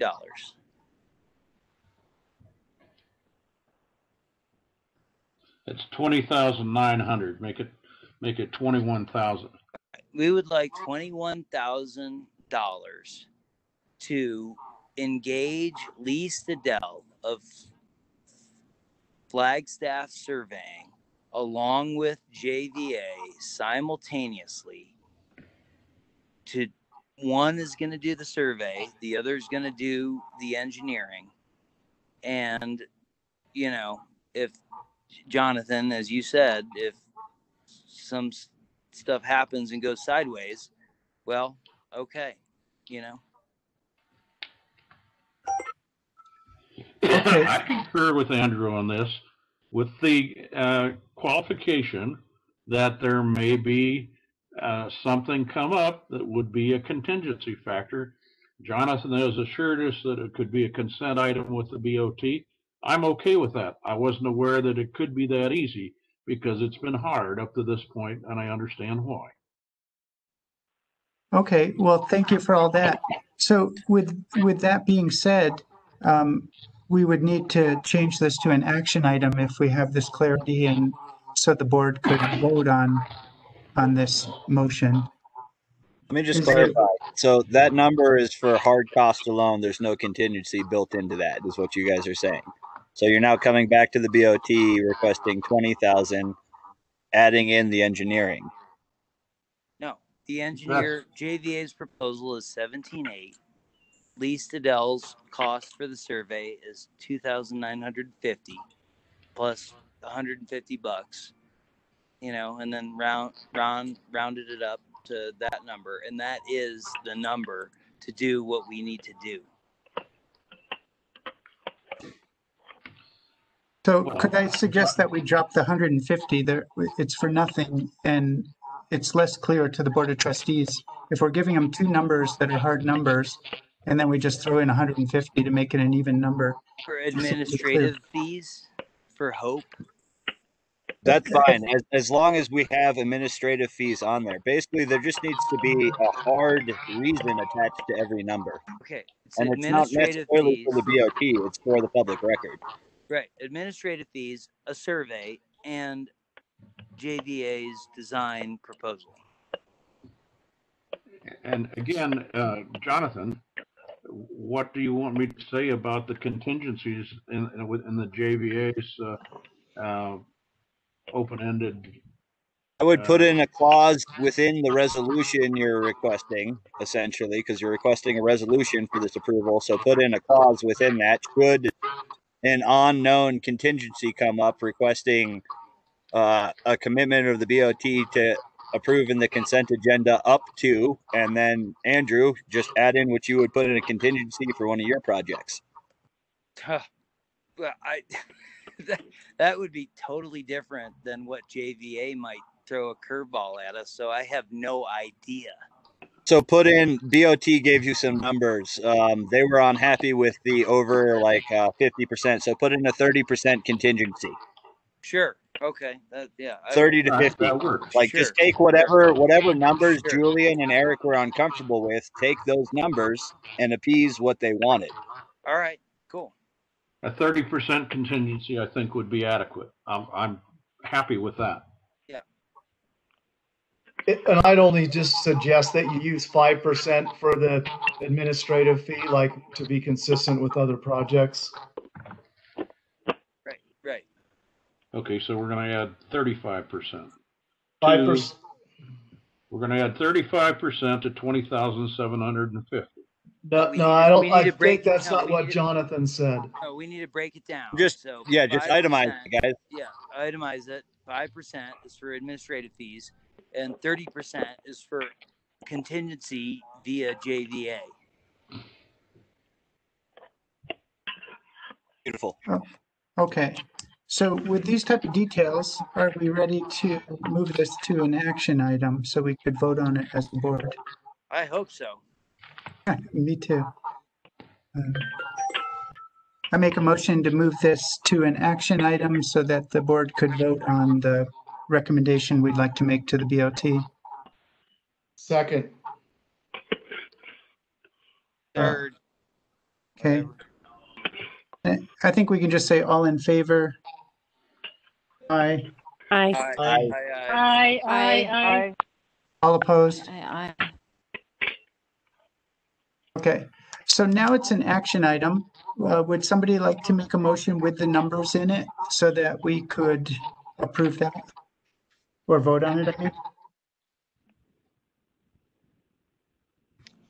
Well, okay. this sounds like a TPS report, but let's try it again. So I make a oh. motion to approve or allocate two thousand nine hundred fifty dollars to the lowest bid, highest qualified surveyor, as well as seventeen thousand eight hundred dollars to JVA, as well as five percent All right, let me give you, let let me give you the thirty-five percent, thirty percent Well, plus. no, we we had to break it down, Ron. Uh, Yeah, wasn't seven finished. thousand two hundred sixty-two dollars and fifty Oh, cents. okay. Oh, then that number. Okay. How much was it? Seven thousand two hundred sixty-two dollars and fifty cents contingency. Okay. All right. So there's that, and then yeah.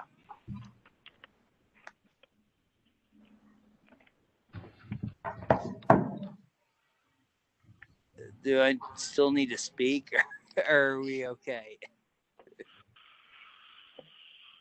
I'm, I'm computing the total cost here, just one second. All right. Stand by. Total cost is twenty-eight thousand, twelve dollars and fifty cents. Given those three things, and let me repeat what they are, seventeen thousand eight hundred, two thousand nine hundred and fifty, five percent for hope and thirty percent for, uh, contingency. Is a total of twenty-eight thousand, twelve dollars and fifty cents. Cool. So the So total we're asking for is twelve, twenty-eight thousand, twelve dollars and fifty cents. So the question I would ask Jonathan before anybody makes that motion, should the contingency be included in this request or should it be separate? You know, honestly, I was of the opinion we should have just approved it, but I get because of the public input the BOT has gotten recently, as well as consistently across the last year and a half, we need to be transparent and we need to have a full public record. Um, for the ease of access, just put it in this so the BOT knows everything they're approving. And hopefully I'm not the guy that has to sit here and, and look at Dewart in the face when he tells me it needed to be a higher contingency and go, I know, I'm sorry. But I'm totally willing tonight to say put it in there and I hope we don't run into any problems because I think we all know what's under there. It's a big spring. It's called Big Springs for a reason. So could somebody make a motion for what we want to vote on now? I move the DDA approached the BOT for twenty-eight thousand, twelve dollars and fifty cents for the following items. Seventeen thousand eight hundred dollars for the JVA contract. Two thousand nine hundred and fifty dollars for the survey, the topographical survey by uh, Flagstaff Surveying, which is a total of twenty thousand seven hundred and fifty dollars.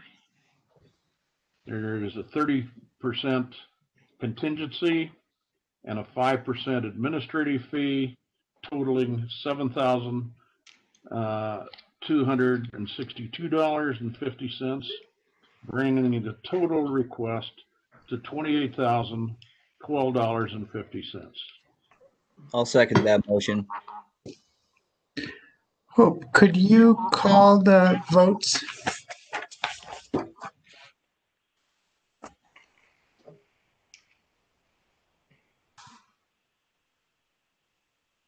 Hope, are you there? Yep. Uh, Chair Steve Caro, Yes. Yes. Treasurer Ron Mitchell, Yes, Vice Chair Brent Tregaskis, Yes.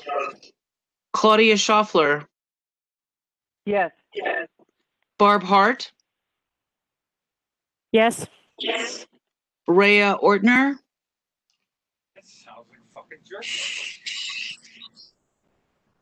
Rhea Ortner. Okay, I didn't hear that. Andrew Dewart, Fuck yeah.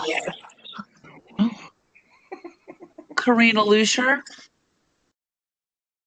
Yes. and Board of Trustees Jonathan Baumhover. Indubitably.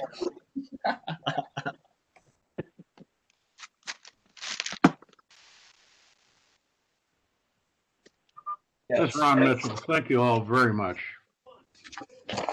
Thank you, Ron. Um, Next item is the wayfinding recommendation, and I'm leading this one. Uh, I hope you guys had a chance to look at the aim. Um, Claudia and I on the committee, the wayfinding committee, had met with both of the people who responded to the RFP.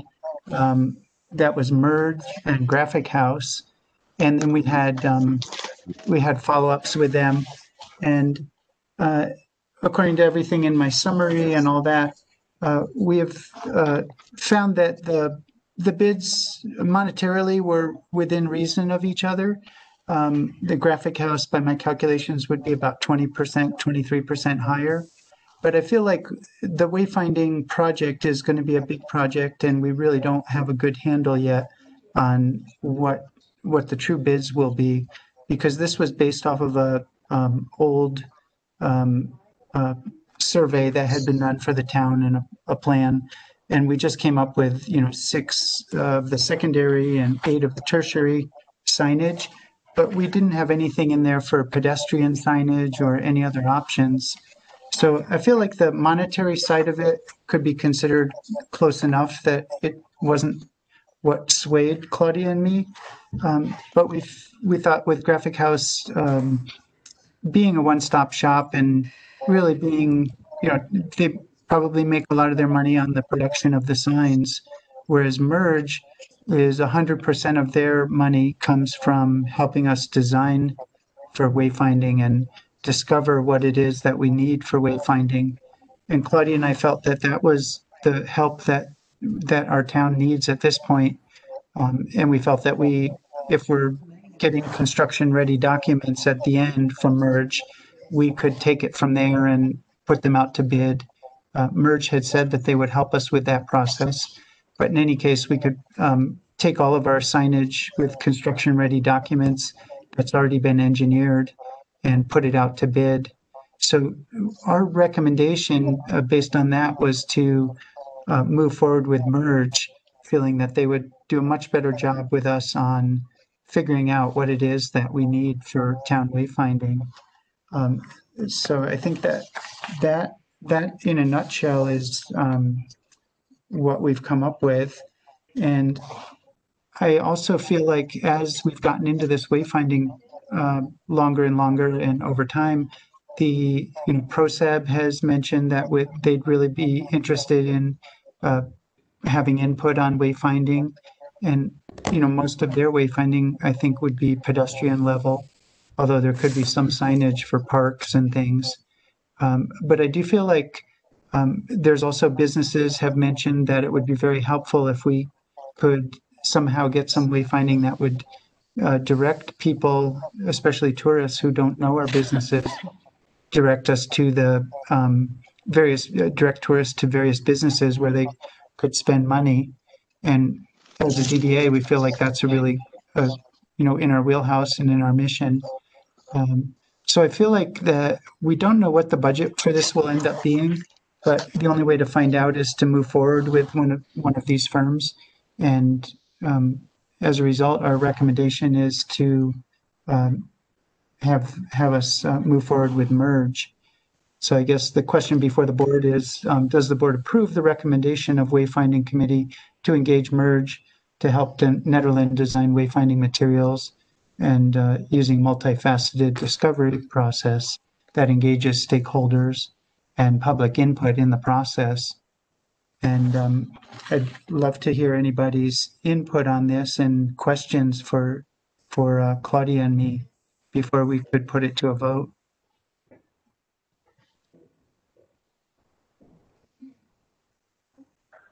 You're gonna go down the list, Steve, or we just do Sure, that sounds. I think that will help us. Um, Jonathan, do you have any input first? I'm just I'm totally for wayfinding. I'm I definitely, and I think Claudia has always always kind of kept the loop open with uh, ProSab, but I definitely feel like it should go hand in hand with anything that's happening in ProSab with the Trails Master Plan and looping in all of the trails to directing toward our businesses. And I'm also kind of curious about, you know, how are we actually going to brand this? Because we did wayfinding like four years ago, and you'll find the little ProSab like you know. Uh, circles or uh, whatever they're technically called. It's blanking my mind at this point. Um, kind of in different places. Thank you, but uh, they've always been so small that my experience being around during weekends is tourists don't actually find them. Folks that don't live in town don't find them, and everybody who lives in town they, they know where nature zone is. They know where our local businesses are, and they shop around and they go to different restaurants and support various different restaurants and, to kind of spread their money out. So if we're going to do this, we really need to kind of focus in on like we got a lot of things in Ned that catch the eye line. And the goal of wayfinding is essentially to have something that people can see and that directs them in a certain place and uh, I guess my question in all this is going to be like, how big are these signs going to be, and what type of standard standard are we going for here? Because we've done wayfinding three times in this town since I've been a teen and remember seeing things go up, and they've always ended up being these really tiny, small things that ended up getting put on telephone poles or on stop signs, and honestly the locals don't even see that they're there and tourists can't follow them anywhere. So that that's kind of my only question. I'm fully in support of this. I just think if we're going to spend money on it we we need to get kind of big and flashy with it. Uh, thank you jonathan. yeah yeah claudia go for it. Um, and then feel free to jump in. That's why we're we want to hire this firm because that's what they do. They know how to do it so that it catches people's attention and uh, they've got examples from small towns all over the country, but we've seen several in Colorado that looked really good. And that's another reason why we don't want to try to do this ourselves because we don't know.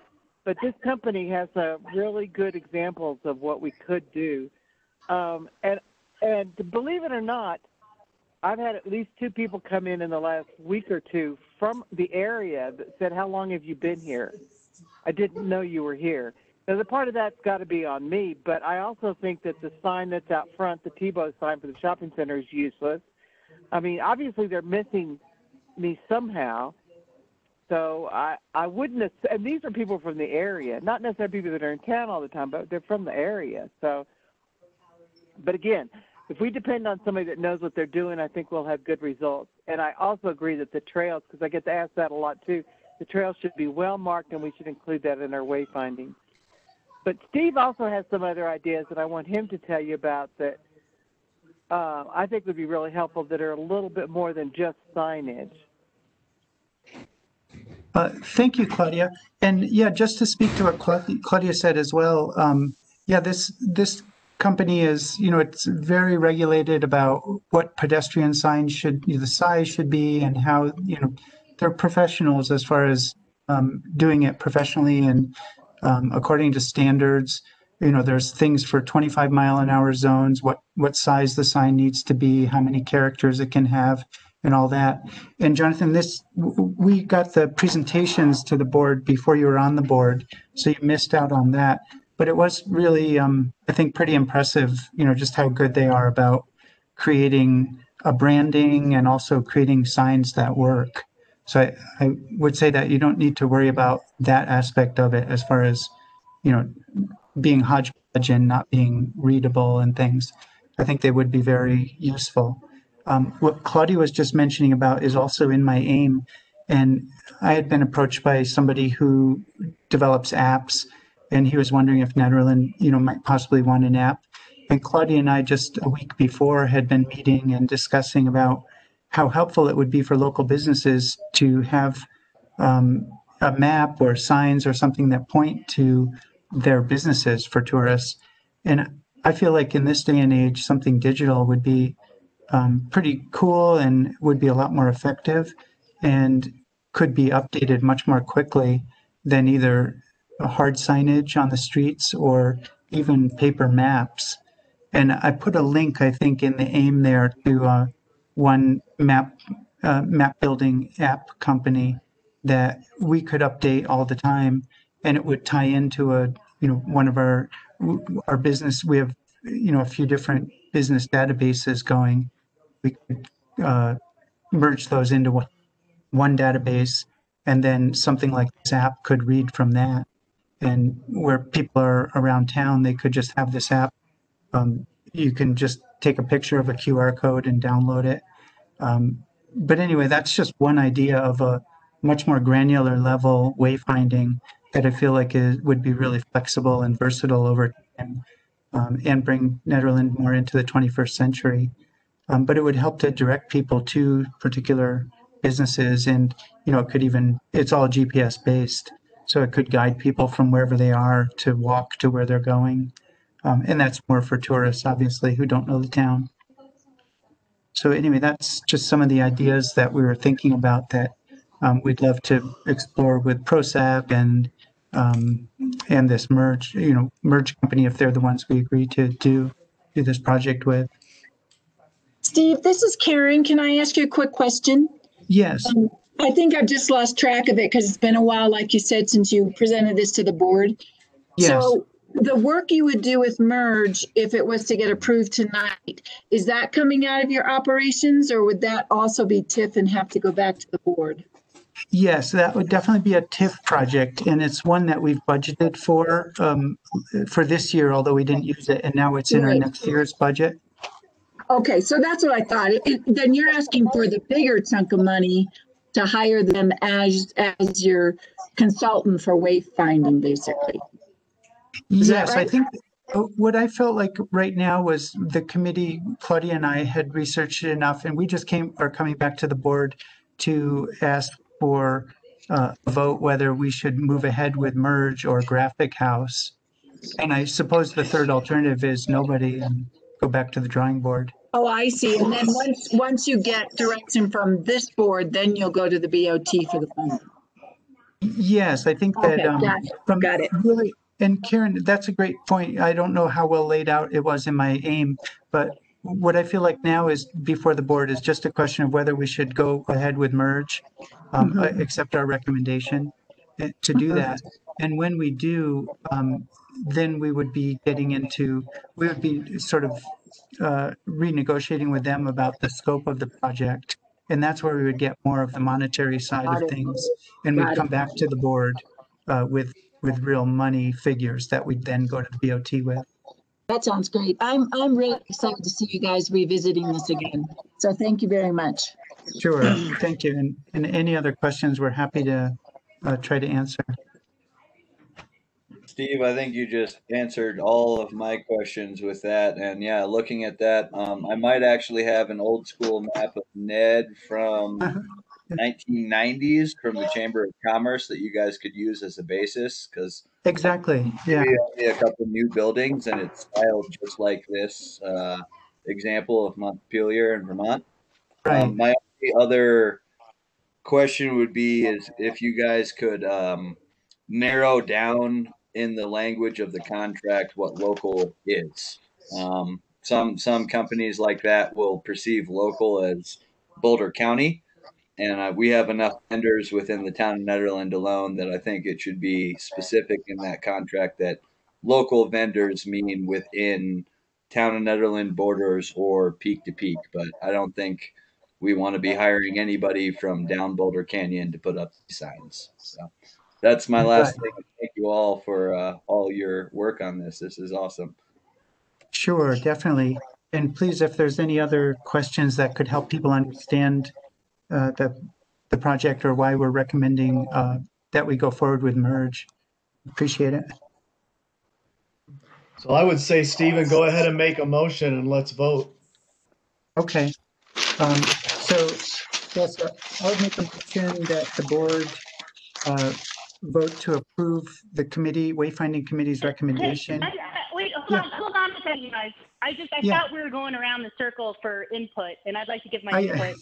So whatever Okay, sorry about that. We were, I mean, I I know lost track where you want to go, but my only input, I'll make it very brief, is I was on this committee about a year ago and reviewed both those pros, like totally agree with MERS. I especially appreciated in past projects that they incorporated local artisans in the signs, whether it's little finials or whatnot. So I think that's great, and I'd like to see somehow this committee and the public art committee coordinating on the design of the sign in the future. And that's it. So I'm in support. Thank you. thanks. That, that's a great, great point there, Rhea. Um, So I would like to just run through the list then. Uh, Barb, Barbara Hart, do you have any questions or input on this? Yeah, I, I agree with Rhea. That sounds like a great idea, but I also want to say I am uh, in agreement with Claudia on the um, table sign that it just does nothing for us, and I think that signs on the roadway don't do a lot for us. I would much rather see us uh, investing in people finding us digitally on their handheld devices because that's the reality of the time that we're living in, and um, would just much rather see us spending the money on that than a lot of signs that will eventually just go away again. Thank you. And, and that is part of the whole process of merge is a very robust discovery process where we get stakeholders involved in the early stages to really define what it is that the town needs. So we love, Claudia and I both love that about merge is how much emphasis they put on the stakeholder input in the early stage. Um, let's see, uh, Karina, do you have any input?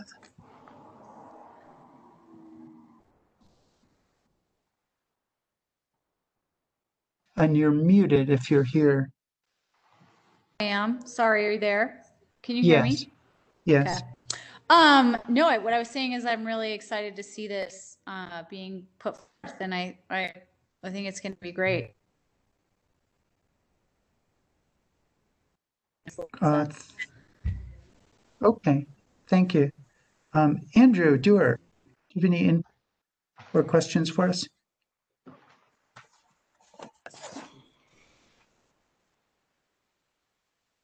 And you might be muted, I don't know. Yes, Andrew's muted. Okay. Um, are we motioning to adjourn? No, uh, Oh, yeah, no, we were working on the wayfinding for merge. Just wondering if you had any questions for us about um, either of the bidders for wayfinding or any input on that. no, I haven't had the bandwidth to examine that, so I don't have any input. Okay, no problem. Uh, Ron Mitchell, do you have any questions for us or input? I've probably had less bandwidth than uh, Andrew, but I support what the committee's done entirely. Okay, thank you. And Claudia, do you have any more input? No, no, I'm really excited with the support we're getting. Thank you. Sure.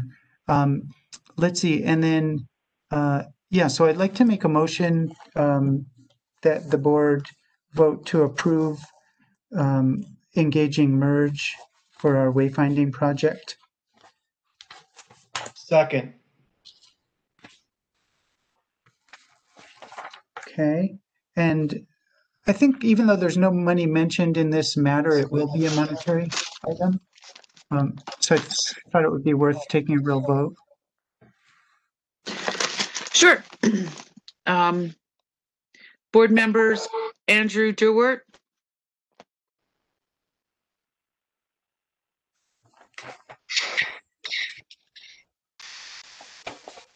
Andrew, He's muted. okay, I'll, I'll go Yeah. m- move forward. Uh, Oh. Yeah, second. Okay, okay. Uh, Rhea Ortner, Yes. Barb Hart, Yes. Claudia Schaffler, Yes. Karina Lucier, Yes. Board of Trustee Liaison Jonathan Baumhover, Yes. Vice Chair Brent Tregaskis, Yes. Chair Steve Caro, Yes. Treasurer Ron Mitchell. Yes. Thank you. Thank you, everybody. We Appreciate that.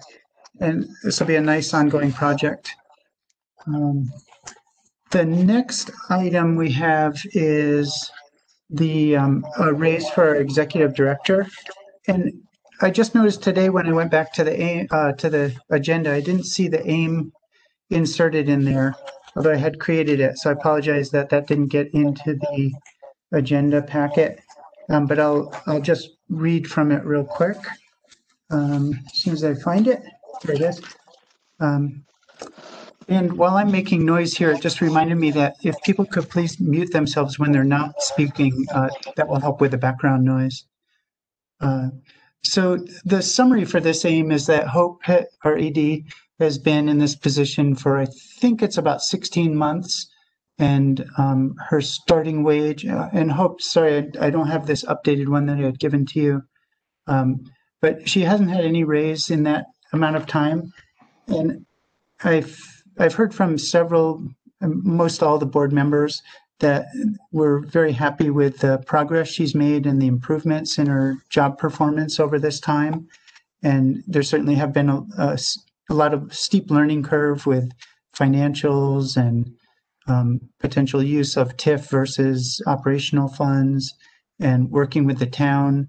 Um, we're getting better with that. You know, we still have a little work to do, but overall, the board seems very uh, pleased with Hope's performance and the improvements she's made over the time of her tenure here.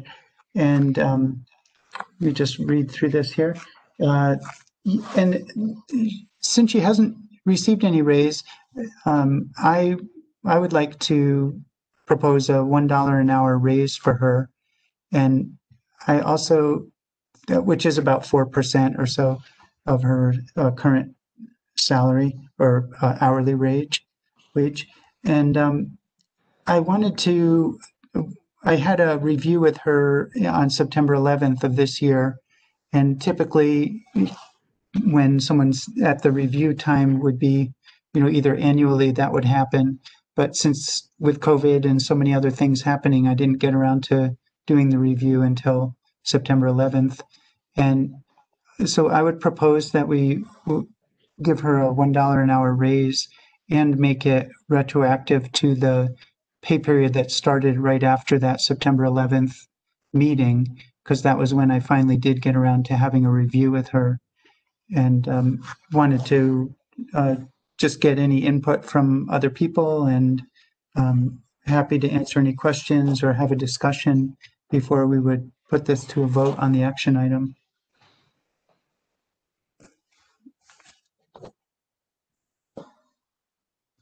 We're gonna go down the list. Yeah, let's just go quickly if we can. Uh, Jonathan, let's go first with you.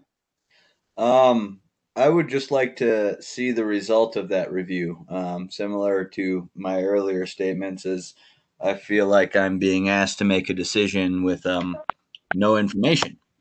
So, being a board member, being asked to make a decision, um, I would like to see this review in its entirety. The questions asked, um, and the process of the review, how it happened. My understanding of that review would be that this board would do it, um, either in a special session, and some type of executive session, or as part of a regular agenda item. So I would say that I am completely uncomfortable being asked to give an individual a raise that I have not seen the result of the re- review that um, would give them that raise. That said, I'm not against giving Hope a raise. I think she busts her butt and does an amazing job considering what she has to work with. Um, but I'm about information, and being asked to make a decision with no information makes me extremely uncomfortable. So I would like to see this be either a special meeting for the DDA to actually review this in entirety and have a discussion, or in the very least, have the full review in front of me to be able to look at and understand why this raise is merited. That's about my only comments. Okay, thank you, Jonathan. That's a good point. May I Um, comment on this? Uh, yes, Ron, you could go next. Uh, You probably don't know this, Jonathan, but being the treasurer and working very closely with Hope, Hope was totally responsible for getting us the reimbursement for the COVID funds and worked extra hours uh, getting information in that was needed. And I'll tell you what they were. We didn't have a tax ID number. She worked getting that in. We didn't have a DUNS number, which is a number assigned by the firm of Dun and Bradstreet. And if she hadn't have got that at the very last minute and worked hard to do it, uh, we wouldn't have got that 150,000, 57,000 somewhat uh, grant money. So I think that that alone merits the raise. And I don't mind saying it publicly to the everybody that's listening. Thank you, uh, Steve. Okay, thank you, Ron. Um, let's see, uh, Karina, could we hear your thoughts on this?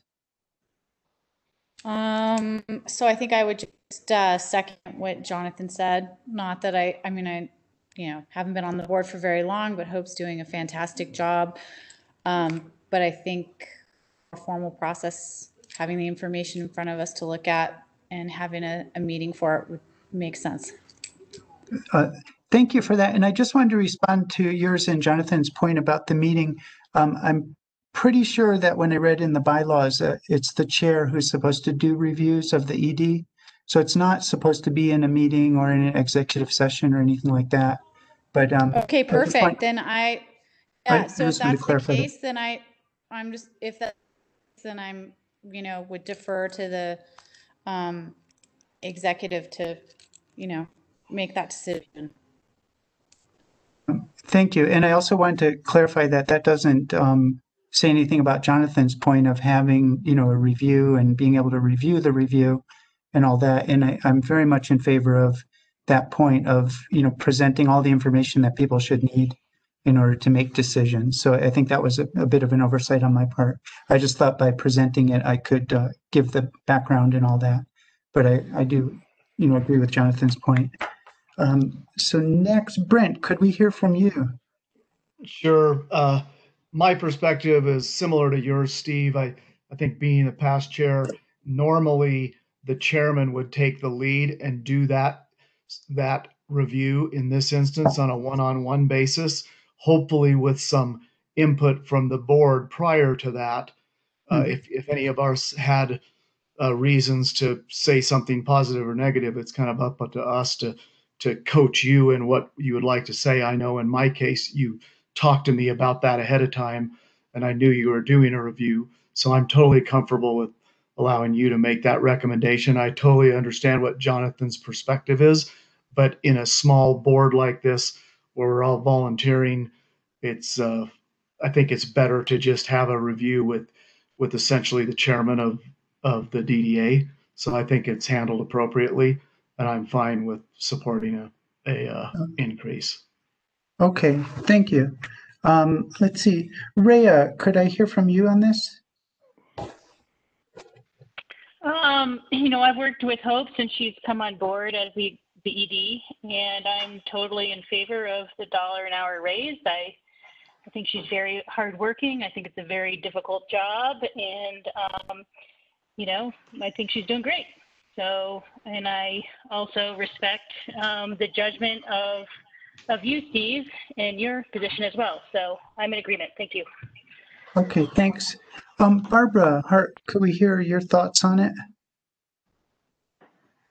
Yeah, um, I have to say I I agree um, with Rhea and and Steve. Um, I work with Hope in quite a few different capacities, trying to figure out information and share information about the DDA. Um, she's always exceptionally responsive, gets me the information I need immediately, has handled things that are probably far beyond um, directors before her, and I think she does a great job. I have no problem uh, giving her the dollar an hour raise. In fact, I, I'm wondering if it's enough, but I follow your lead on it as you did the uh, review. Thanks. Thank you. And let's see, uh, Andrew Dewar?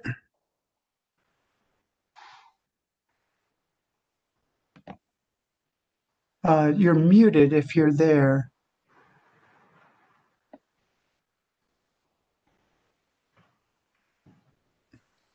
Uh, while we're waiting for Andrew, um, Claudia, do you have any input on that?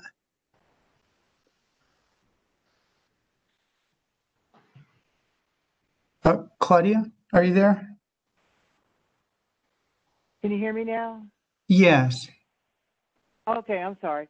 Um, I with Jonathan, I think it would be helpful if we just had a, even a summary of the review and even Hope's um, input, you know, like what her goals are. I just think it's important for us to know how she feels she's doing, how, uh, you know, we all gave you input, but then we don't, I have no idea how that was addressed or not addressed or, um, I just think it'd be a good idea to have a summary of what, um, the review looked like, what Hope's thoughts were, uh, where she is on it. Were there areas of improvement? Was that addressed? Um, where she, I just think it's a good idea to have, for us to have a summary um, before we make a decision. I'm with Jonathan on that one. Okay, thank you. Uh, let's see, and then Andrew, are you here? You're muted if you are on the call.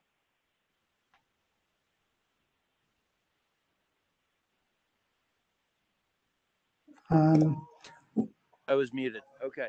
okay, Um, so regarding giving Hope a raise, yes. yes. Okay, and do you have any input or concerns about it or? No. Okay. All right. Um, well, I think that, um, I, I think I've asked everybody. I guess my feeling is with, with the, um, Board of Trustees liaison and another member, you know, feeling like they would not feel comfortable. Um, it sounds like not feeling comfortable with the board moving forward. Uh, No, no. Hey, Steve, can I clarify my position here? I fully Okay, think sure. Hope deserves the dollar an hour raise. Um, Right. I think sometimes people fail to actually distinguish between Hope deserves the raise. She's been working her butt off.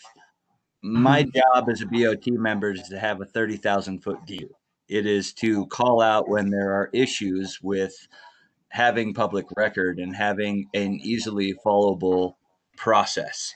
So I remember you reaching out for feedback. I do not remember you specifically asking in that email and outlining, hey, as the chair member of this board, I am doing the review of our executive director.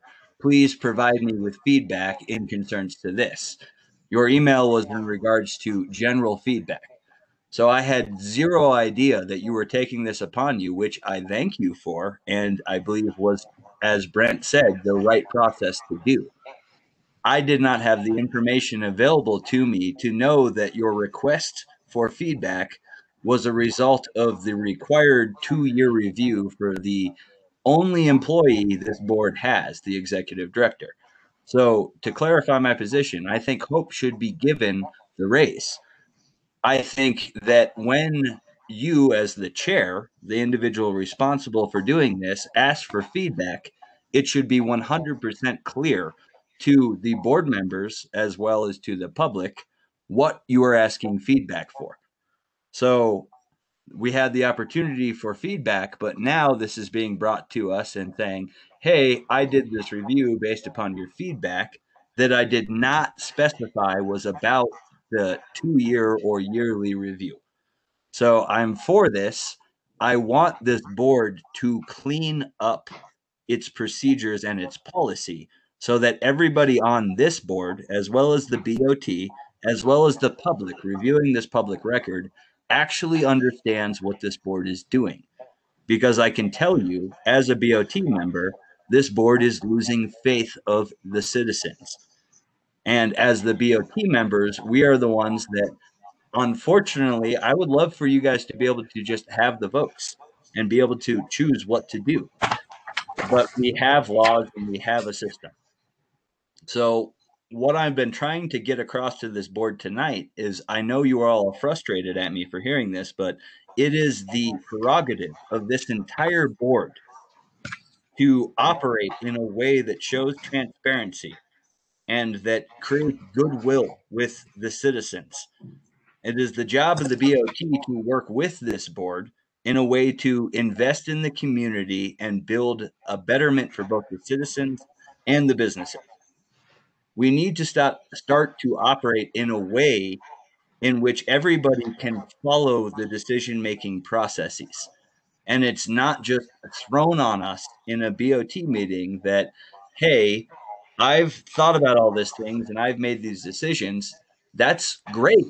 But if I don't have the information in front of me to be able to follow your thought process, I've been a teacher before and I've had to say this to a kid. If I can't follow how you got there, it might not answer. It doesn't matter if you have the right answer. And I was told this and it made me frustrated. I can't follow how you got there. So I don't know if the processes were right. So I 100% agree. Faith or hope does a, far above and beyond for this board and this community. And she is an upstanding citizen. But we need to be able to show how we got there. So I'm in approval of this. I have a concern about how this board goes about providing its information and providing adequate data for people to be able to make informed decisions. But thanks for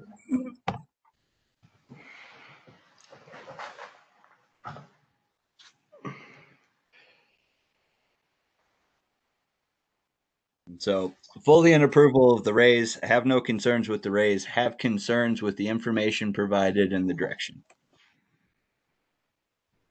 Uh, great, thank you. Sorry, I muted myself instead of unmuting myself. um, uh, well, thank you, Jonathan. I, I, appreciate that, and I I am complete agreement that you know I think all boards and public entities should be very transparent and you know provide all the information in a clear way um, so that board members can make a decision. It sounds to me like the whole board is in favor of this raise, and I would I can only assume that they'd be in favor of me asking to make it retroactive to the time when we were able to have our review. Um, I would probably feel more comfortable just tabling this until next meeting uh, with the same effective date of the first pay period after 9/11 when our review took place and that would give me time to um, get the review together and be able to present it uh, to the board before I ask anyone to vote on it. Although it sounds like everybody's in favor of it. So I think that as long as I can keep the same effective date for Hope, I, I'd like to table this until the next meeting and present the uh, information about the review in more detail than just my narrative. Yeah, my only quick question with that, Stephen, is do the bylaws say that the the chairman is the one that does the review? Is that what you isn't that what you mentioned earlier? Yeah, the chairman. I, I, that's what I remember from reading the bylaws because I, I, wasn't keen to do any reviews. I'm. It's not something I love to do, but um, I read in the bylaws that it's supposed to be the chairman doing it, so I took it upon myself. I mean, with that in mind, I guess I mean, I don't really care. You can certainly postpone it and share the review with the rest of us if that makes everybody feel better. But from my perspective, I I have to trust you as the chairman to be able to do your job. If that's what the bylaws call for, without being very specific, I don't. I totally understand what Jonathan said, and I think we need to be transparent in all things. But to me, that isn't like a big public process. It's a internal one that I'm comfortable with making the decision right. tonight, but that's your call. You're the chair, and if you want to postpone it, that's your call. Sure. Um, yeah, I, I, agree with you, Brent. I think that, I mean, that's how I took it to be that I'm supposed to be doing the review, and I didn't think that the review itself needed to be made public. But um, Jonathan, you know, is pretty strong on that, even though he uh, supports it, as he's mentioned, um, supports the decision to give a raise. So um, yeah, I think I, would like to just go by Jonathan's uh, request and uh, postpone this for the next meeting. And I'll, I'll prepare uh, more information about the review. I mean, I, I, uh, whatever you want to do, Steve, is fine, but, you know, maybe we need to consider, I don't know, does it need to be an executive session? And do we, do, are there members who feel awkward that Hope is part of it? Is, you know, obviously here. I don't know. That's just another thought. I mean, I would fully support the raise. I have no problems of approving it. But um, these are just other considerations. I would say I'm not against the idea of an executive session. Not that I think we need to have an executive session for any reason, but an executive session provides us the ability as a board to talk about these things where this review, Steve, doesn't need to go public. But it mm-hmm. provides us the ability of a, as a board to have a safe space to discuss this as as a board. And I would agree, Steve, I'm fine with your recommendation. It's just in some way, shape, or form, I feel like there should be. Eh, I mean, I my I guess my big beef is when you sent out feedback, it wasn't specifically called out. This feedback is for me as I have taken it upon myself, based upon the based you know the mandate of the board to do a review. I just thought that feedback was coming. I didn't understand that was part of the one or two year review. So Okay. I, I'm indifferent of whether we really need to have a meeting. I'd be fine if you call this to vote tonight. I just I I think we really need to clarify as the board when we're being asked for information, being asked for information. And I'm fine and 100% trust. And as I had said, I believe you are right in asking for this raise. You're not asking for a big raise. She probably deserves more for the hell she's gone through in this pandemic. And she's done amazing things. Hope, I hope you're hearing me. I'm just trying to clear up the lines of communication in this board because from what I have seen All in the past two months, Jonathan, it's not open. Can I just, uh, you know, maybe make a suggestion? Yes, please. We uh, hope writes down her job description, and then, you know, like we could look at what, you know, monster, whatever those companies are that headhunt, and, you know, what Andrew. Yeah. Steve already did the evaluation, and I have no beef with Steve's evaluation. I'm asking Okay. in the future, we clean this up. So We're call it trying, to a you vote know, tonight. We're trying. I, I understand, and you guys should realize the BOT tries too, and we screw up too. So I'm not trying to say screw you guys screwed up and you need to fix it instantly. I'm just saying let's take these as teachable moments and learning opportunities. Okay, um, well, Jonathan, uh, hearing everyone that said, uh, I feel comfortable calling for a vote um, for a raise for Hope tonight. And I do understand that in the future, you know, I'll try to provide as much information with all of my uh, aims that I can. And, uh, um, and just, yeah, so I think I'm good to ask for a vote on this. I would agree. Please do. Okay, so I'd like to make a motion that the board vote to approve a one dollar an hour raise for Hope Jordan, effective with the first pay period after September eleventh, which is the date that uh, I had a review with Hope. I second. Third. Okay, and then Hope, could you call for a vote on this? Yes, I can.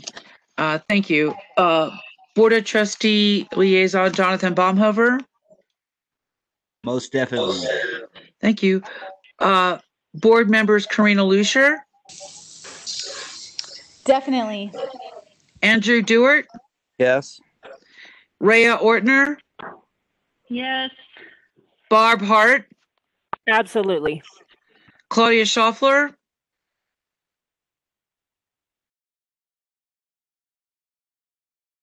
Yes. Vice Chair Brent Tregaskis, Yes. Treasurer Ron Mitchell, Yes. Chair Steve Caro. Yes. Thank you. Great, thank you. And I just want to say again, thanks to Hope for all that she's been doing and all the development she's uh, achieved this past 16 months with us. Um, The next items are informational items. I do not have a chair report for tonight. Uh, Ron Mitchell, do you have a treasurer's report? Yes, we have eight hundred thousand plus about a hundred dollars in the bank. Uh, and Hope has done a very good job of putting all of our data on spreadsheets. It's not com- quite complete yet. And, uh, at the next meeting, I would like to, uh, propose, uh, a, moving some of our funds to a certificate of deposit, which, uh, has a line of credit attached to it so that we have both a increased but low level um, risk uh, account that produces more income. The rate that we would get would be 0.75, uh, which is seven times more than we're getting right now. And the line of credit would allow us immediate liquidity against the CD. So I will uh, leave that as my report and uh, give you more information during the uh, month on the proposal for the next uh, board meeting. That's all I have. Thank you, Ron. Okay, thanks for that report. Um, And now we have the executive director report from Hope.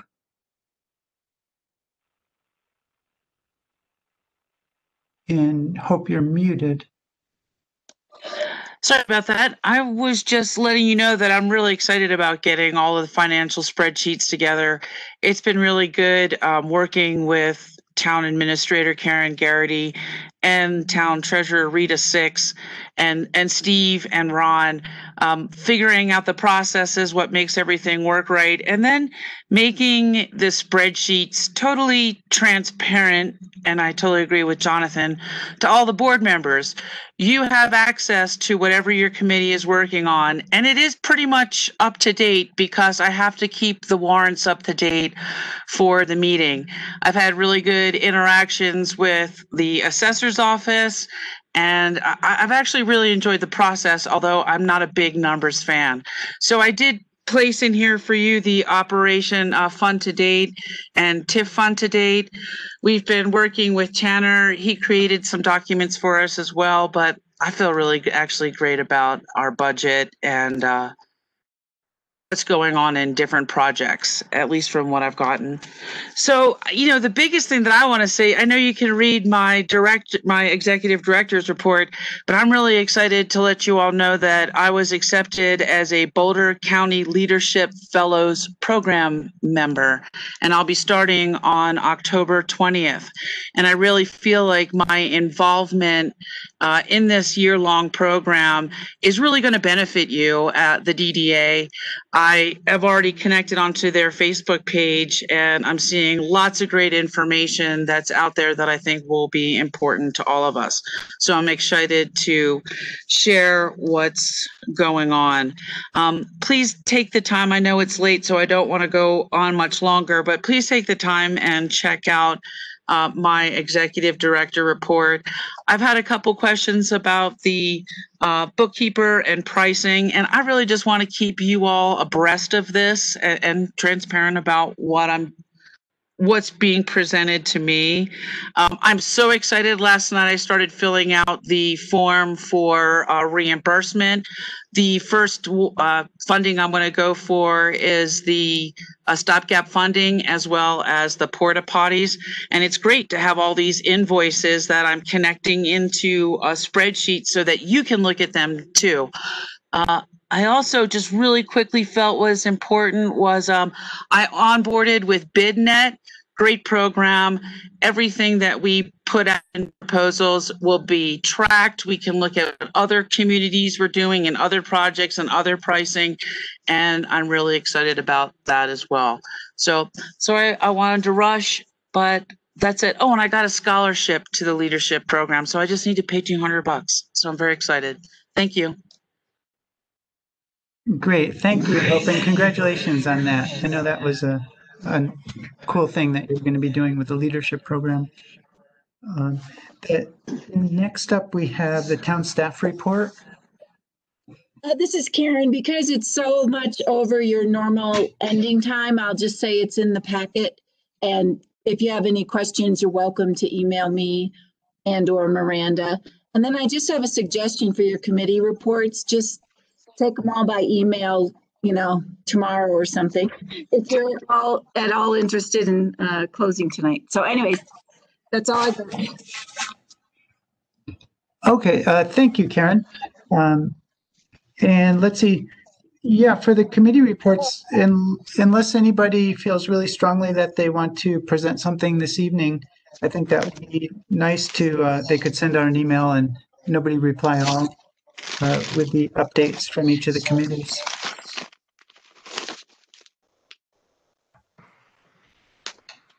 Seems like that is okay with people. Nobody's dying to give a committee report tonight. That's fine with me. Okay. Um, and is there any other business? Can I speak for a second? Yes, who is that? This is Barbara Hart. Oh, hi, Barbara. Yes, please. Um, I just wanted to say, um, Jonathan, thank you for pointing out the the strengths that we need to work on um, with the DDA. Obviously, it's been really hard for us. Um, some of us have only been to a couple meetings in person, and some of the new board members haven't been to any meetings in person. And obviously, it's a challenge for us to kind of figure out exactly how we're doing this online. And it's the same with approaching the BOT. Um, it's a lot easier to stand up in front of people and talk about what you need to say than it is to stare at a computer screen and say what you need to say. Um, I also wanted to mention, because I was on the last BOT meeting, um, that the town is making awesome strides. And Karen didn't mention um, the report she gave, and I'm sure that everybody's going to read it, and some of us already have. Um, but I also want to say, um, just to to have everyone on the DDA give themselves a pat on the back because we are also part of the reason the town is doing as well as it is. And when I hear on the BOT meetings things like the DDA isn't doing anything, it frustrates me because I see what we're doing and I see over $300,000 that we've contributed to the town and the welfare of the town. And I think that we're all figuring it out as we go and doing the very best that we can. And I think that um, somewhere, somewhere along the way, that deserves a pat on the back. And I hope each one of the DDA members will give themselves one since we can't do it for each other. That's it. Thank you, Barbara. That's very nice to hear.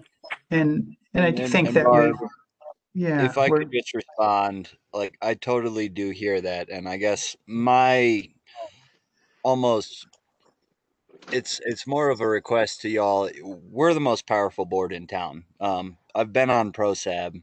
My ex-wife used to still chairs SAB.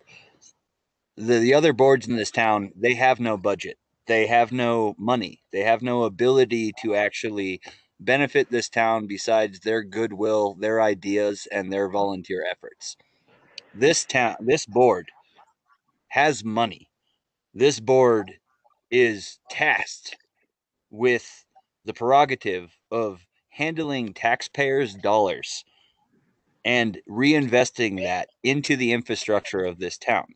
So I will say this board does good, and we've all been under a lot of strife. And everybody always deserves the benefit of the doubt and a pat on the back. That said, is this board of any board in town is under the most uh, oversight by the public, has come over under the most attack by the public. And so I have huge faith in this board and the current members of this board. I think we've all been trying to adjust to a pandemic that blindsided us all, threw life into a complete wreck. I'm just trying to besiege you all that these things matter, that having a public record that is 100% transparent. And like this board, everything you guys present to the BOT should just be a slam dunk. there should be no arguing whatsoever because you're the only board in town that has money to better this town. As the BOT, if we want to better this town, we have to raise taxes on the citizens. You guys, as a board, all of us, myself included, because I am one of your board members, we really have the ability to better this town.